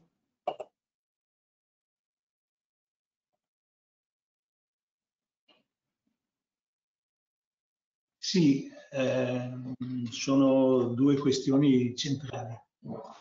Allora, sul rapporto con la valutazione di incidenza. Eh, storicamente è stato un grossissimo problema, perché mentre la valutazione di incidenza somiglia più, se volete, mh, mm, scusatemi questa cosa, alla via, nel senso che la valutazione di incidenza prende in considerazione un'opera e gli dà delle prescrizioni. No? Quindi come tipo di procedimento è un procedimento autorizzativo, mentre la VAS, eh, come abbiamo visto, non, non lo è. Allora, eh, il problema del rapporto con la valutazione di incidenza deriva, uno, da questo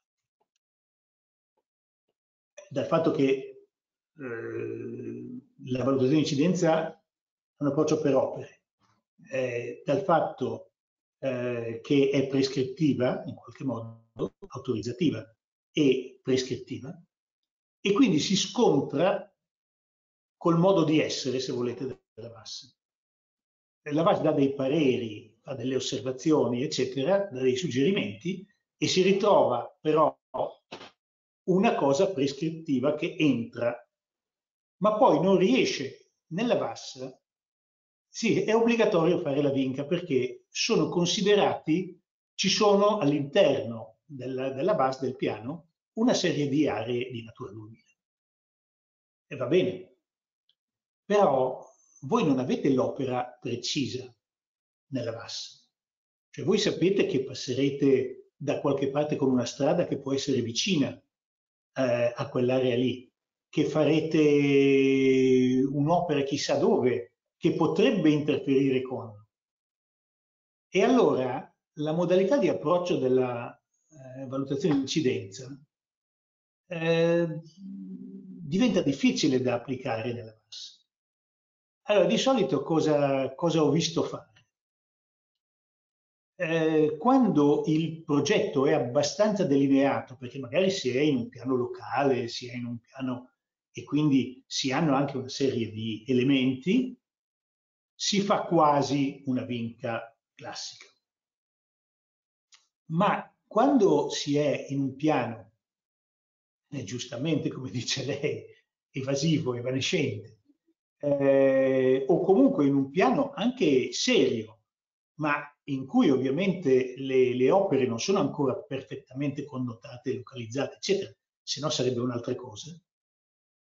Allora quello che si tende a fare è eh, dare dei criteri sostanzialmente, cioè fare una valutazione di incidenza in cui eh, si eh, esamina la situazione, si mette in evidenza quali sono le cose da andare a guardare su, quel, su quell'area, quali sono le specie, quali sono gli interventi interni, eccetera, e poi però si dice con quali criteri si deve valutare eh, qualcosa di esterno. Quindi quali sono le cose da considerare, che so, il rumore piuttosto che l'invasione, eccetera, eccetera eh, il rischio, eccetera, eccetera. E si danno dei criteri e la, la valutazione di incidenza diventa questo, diventa come se fosse una valutazione di incidenza a livello di piano, che poi rimanda a un secondo momento a una valutazione di incidenza eh, delle singole opere vere e proprie. Questa è una difficoltà perché o viene normato in modo diverso il tutto, creando un processo anche per la valutazione di incidenza, o altrimenti è difficile far coesistere due procedure eh, che sono abbastanza diverse. Quindi io ho visto sempre molta difficoltà a introdurre la vinca, diciamo, nei, nei piani. Eh, invece, per quanto riguarda l'altro aspetto, eh, sì, il problema vero eh, l'ha affrontato un po' la regione Emilia-Romagna che ehm, che ha approvato una nuova legge, diciamo, per la pianificazione territoriale e quindi anche per i piani urbanistici, eh, la quale ha proprio deciso formalmente che i piani diventano solo dei piani che danno una strategia, un indirizzo, dei criteri e così via, e che poi invece eh, le, le cose da fare, le opere, gli interventi, eccetera, possono essere decisi nel corso dell'attuazione, ma a condizione di utilizzare gli strumenti decisionali, per esempio l'analisi a molti eh, criteri, con i criteri definiti eh, a livello di piano.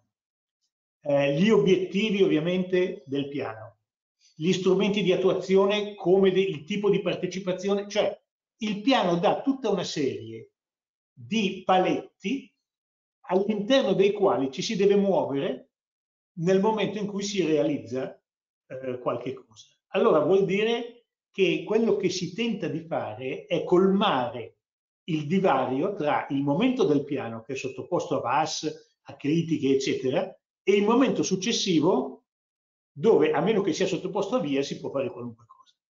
No?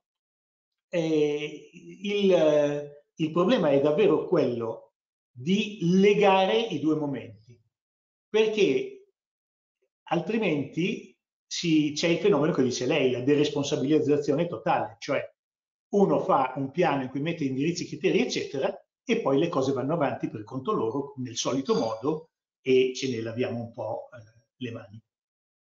Ecco, il problema è che questo tipo di approccio, eh, che tra l'altro io ho contribuito eh, a creare, ho scritto delle linee guida per, per quei piani, eh, però questo tipo di approccio ha una difficoltà enorme rischia un grosso fallimento, perché la difficoltà è quella di avere un'amministrazione pubblica a livello locale che è in grado di portare avanti i processi decisionali che attuano il piano. Perché, capite, in questo momento noi abbiamo depotenziato moltissimo le amministrazioni che le abbiamo, eh, hanno poco personale, spesso le competenze tecniche sono uscite e sono andate a finire da altre parti, quindi hanno anche poche competenze tecniche, eh, non hanno probabilmente la forza di reggere l'urto magari de degli interessi che sono sul territorio, eccetera, e di integrarsi nella progettazione eh, per riuscire effettivamente a stare nei binari eh, dettati dal piano. Quindi la scommessa in quel caso lì è proprio quello che noi chiamiamo il capacity building, cioè il fatto di potenziare molto le amministrazioni pubbliche anche a livello locale in modo che siano in grado di gestire dei processi decisionali di partecipazione e così via nell'alveo degli indirizzi che ha dato il piano. Altrimenti questo tipo di sistema non può funzionare.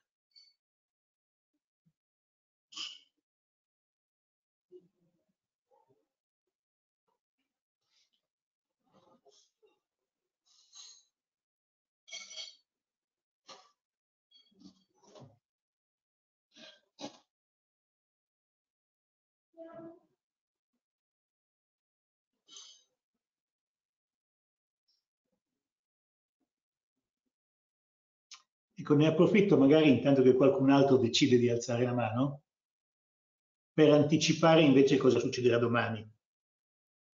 Eh, domani scendiamo di scala, quindi invece di affrontare i problemi generali all'interno della quale si colloca la VAS e i problemi della VAS, affrontiamo proprio il percorso della VAS. Quindi domani vediamo proprio eh, partiamo con la partecipazione e poi vediamo via via tutti i passi che sono necessari eh, per elaborare eh, e poi per attuare eh, la base il piano. E quindi li vediamo un po' dal punto di vista metodologico.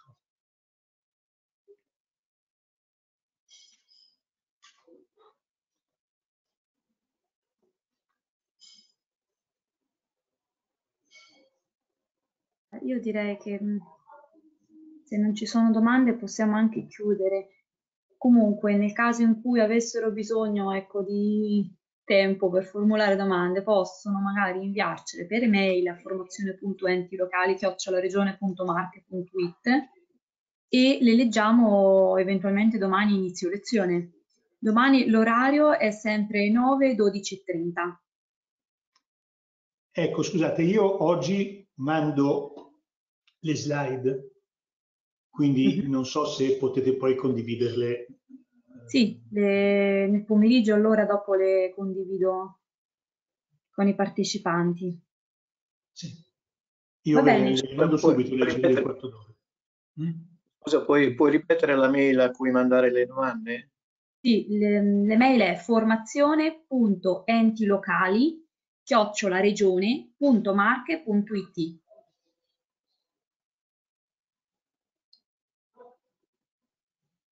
Va bene, io allora ci salutiamo, ringraziamo il professor Elliott e ci vediamo domani mattina.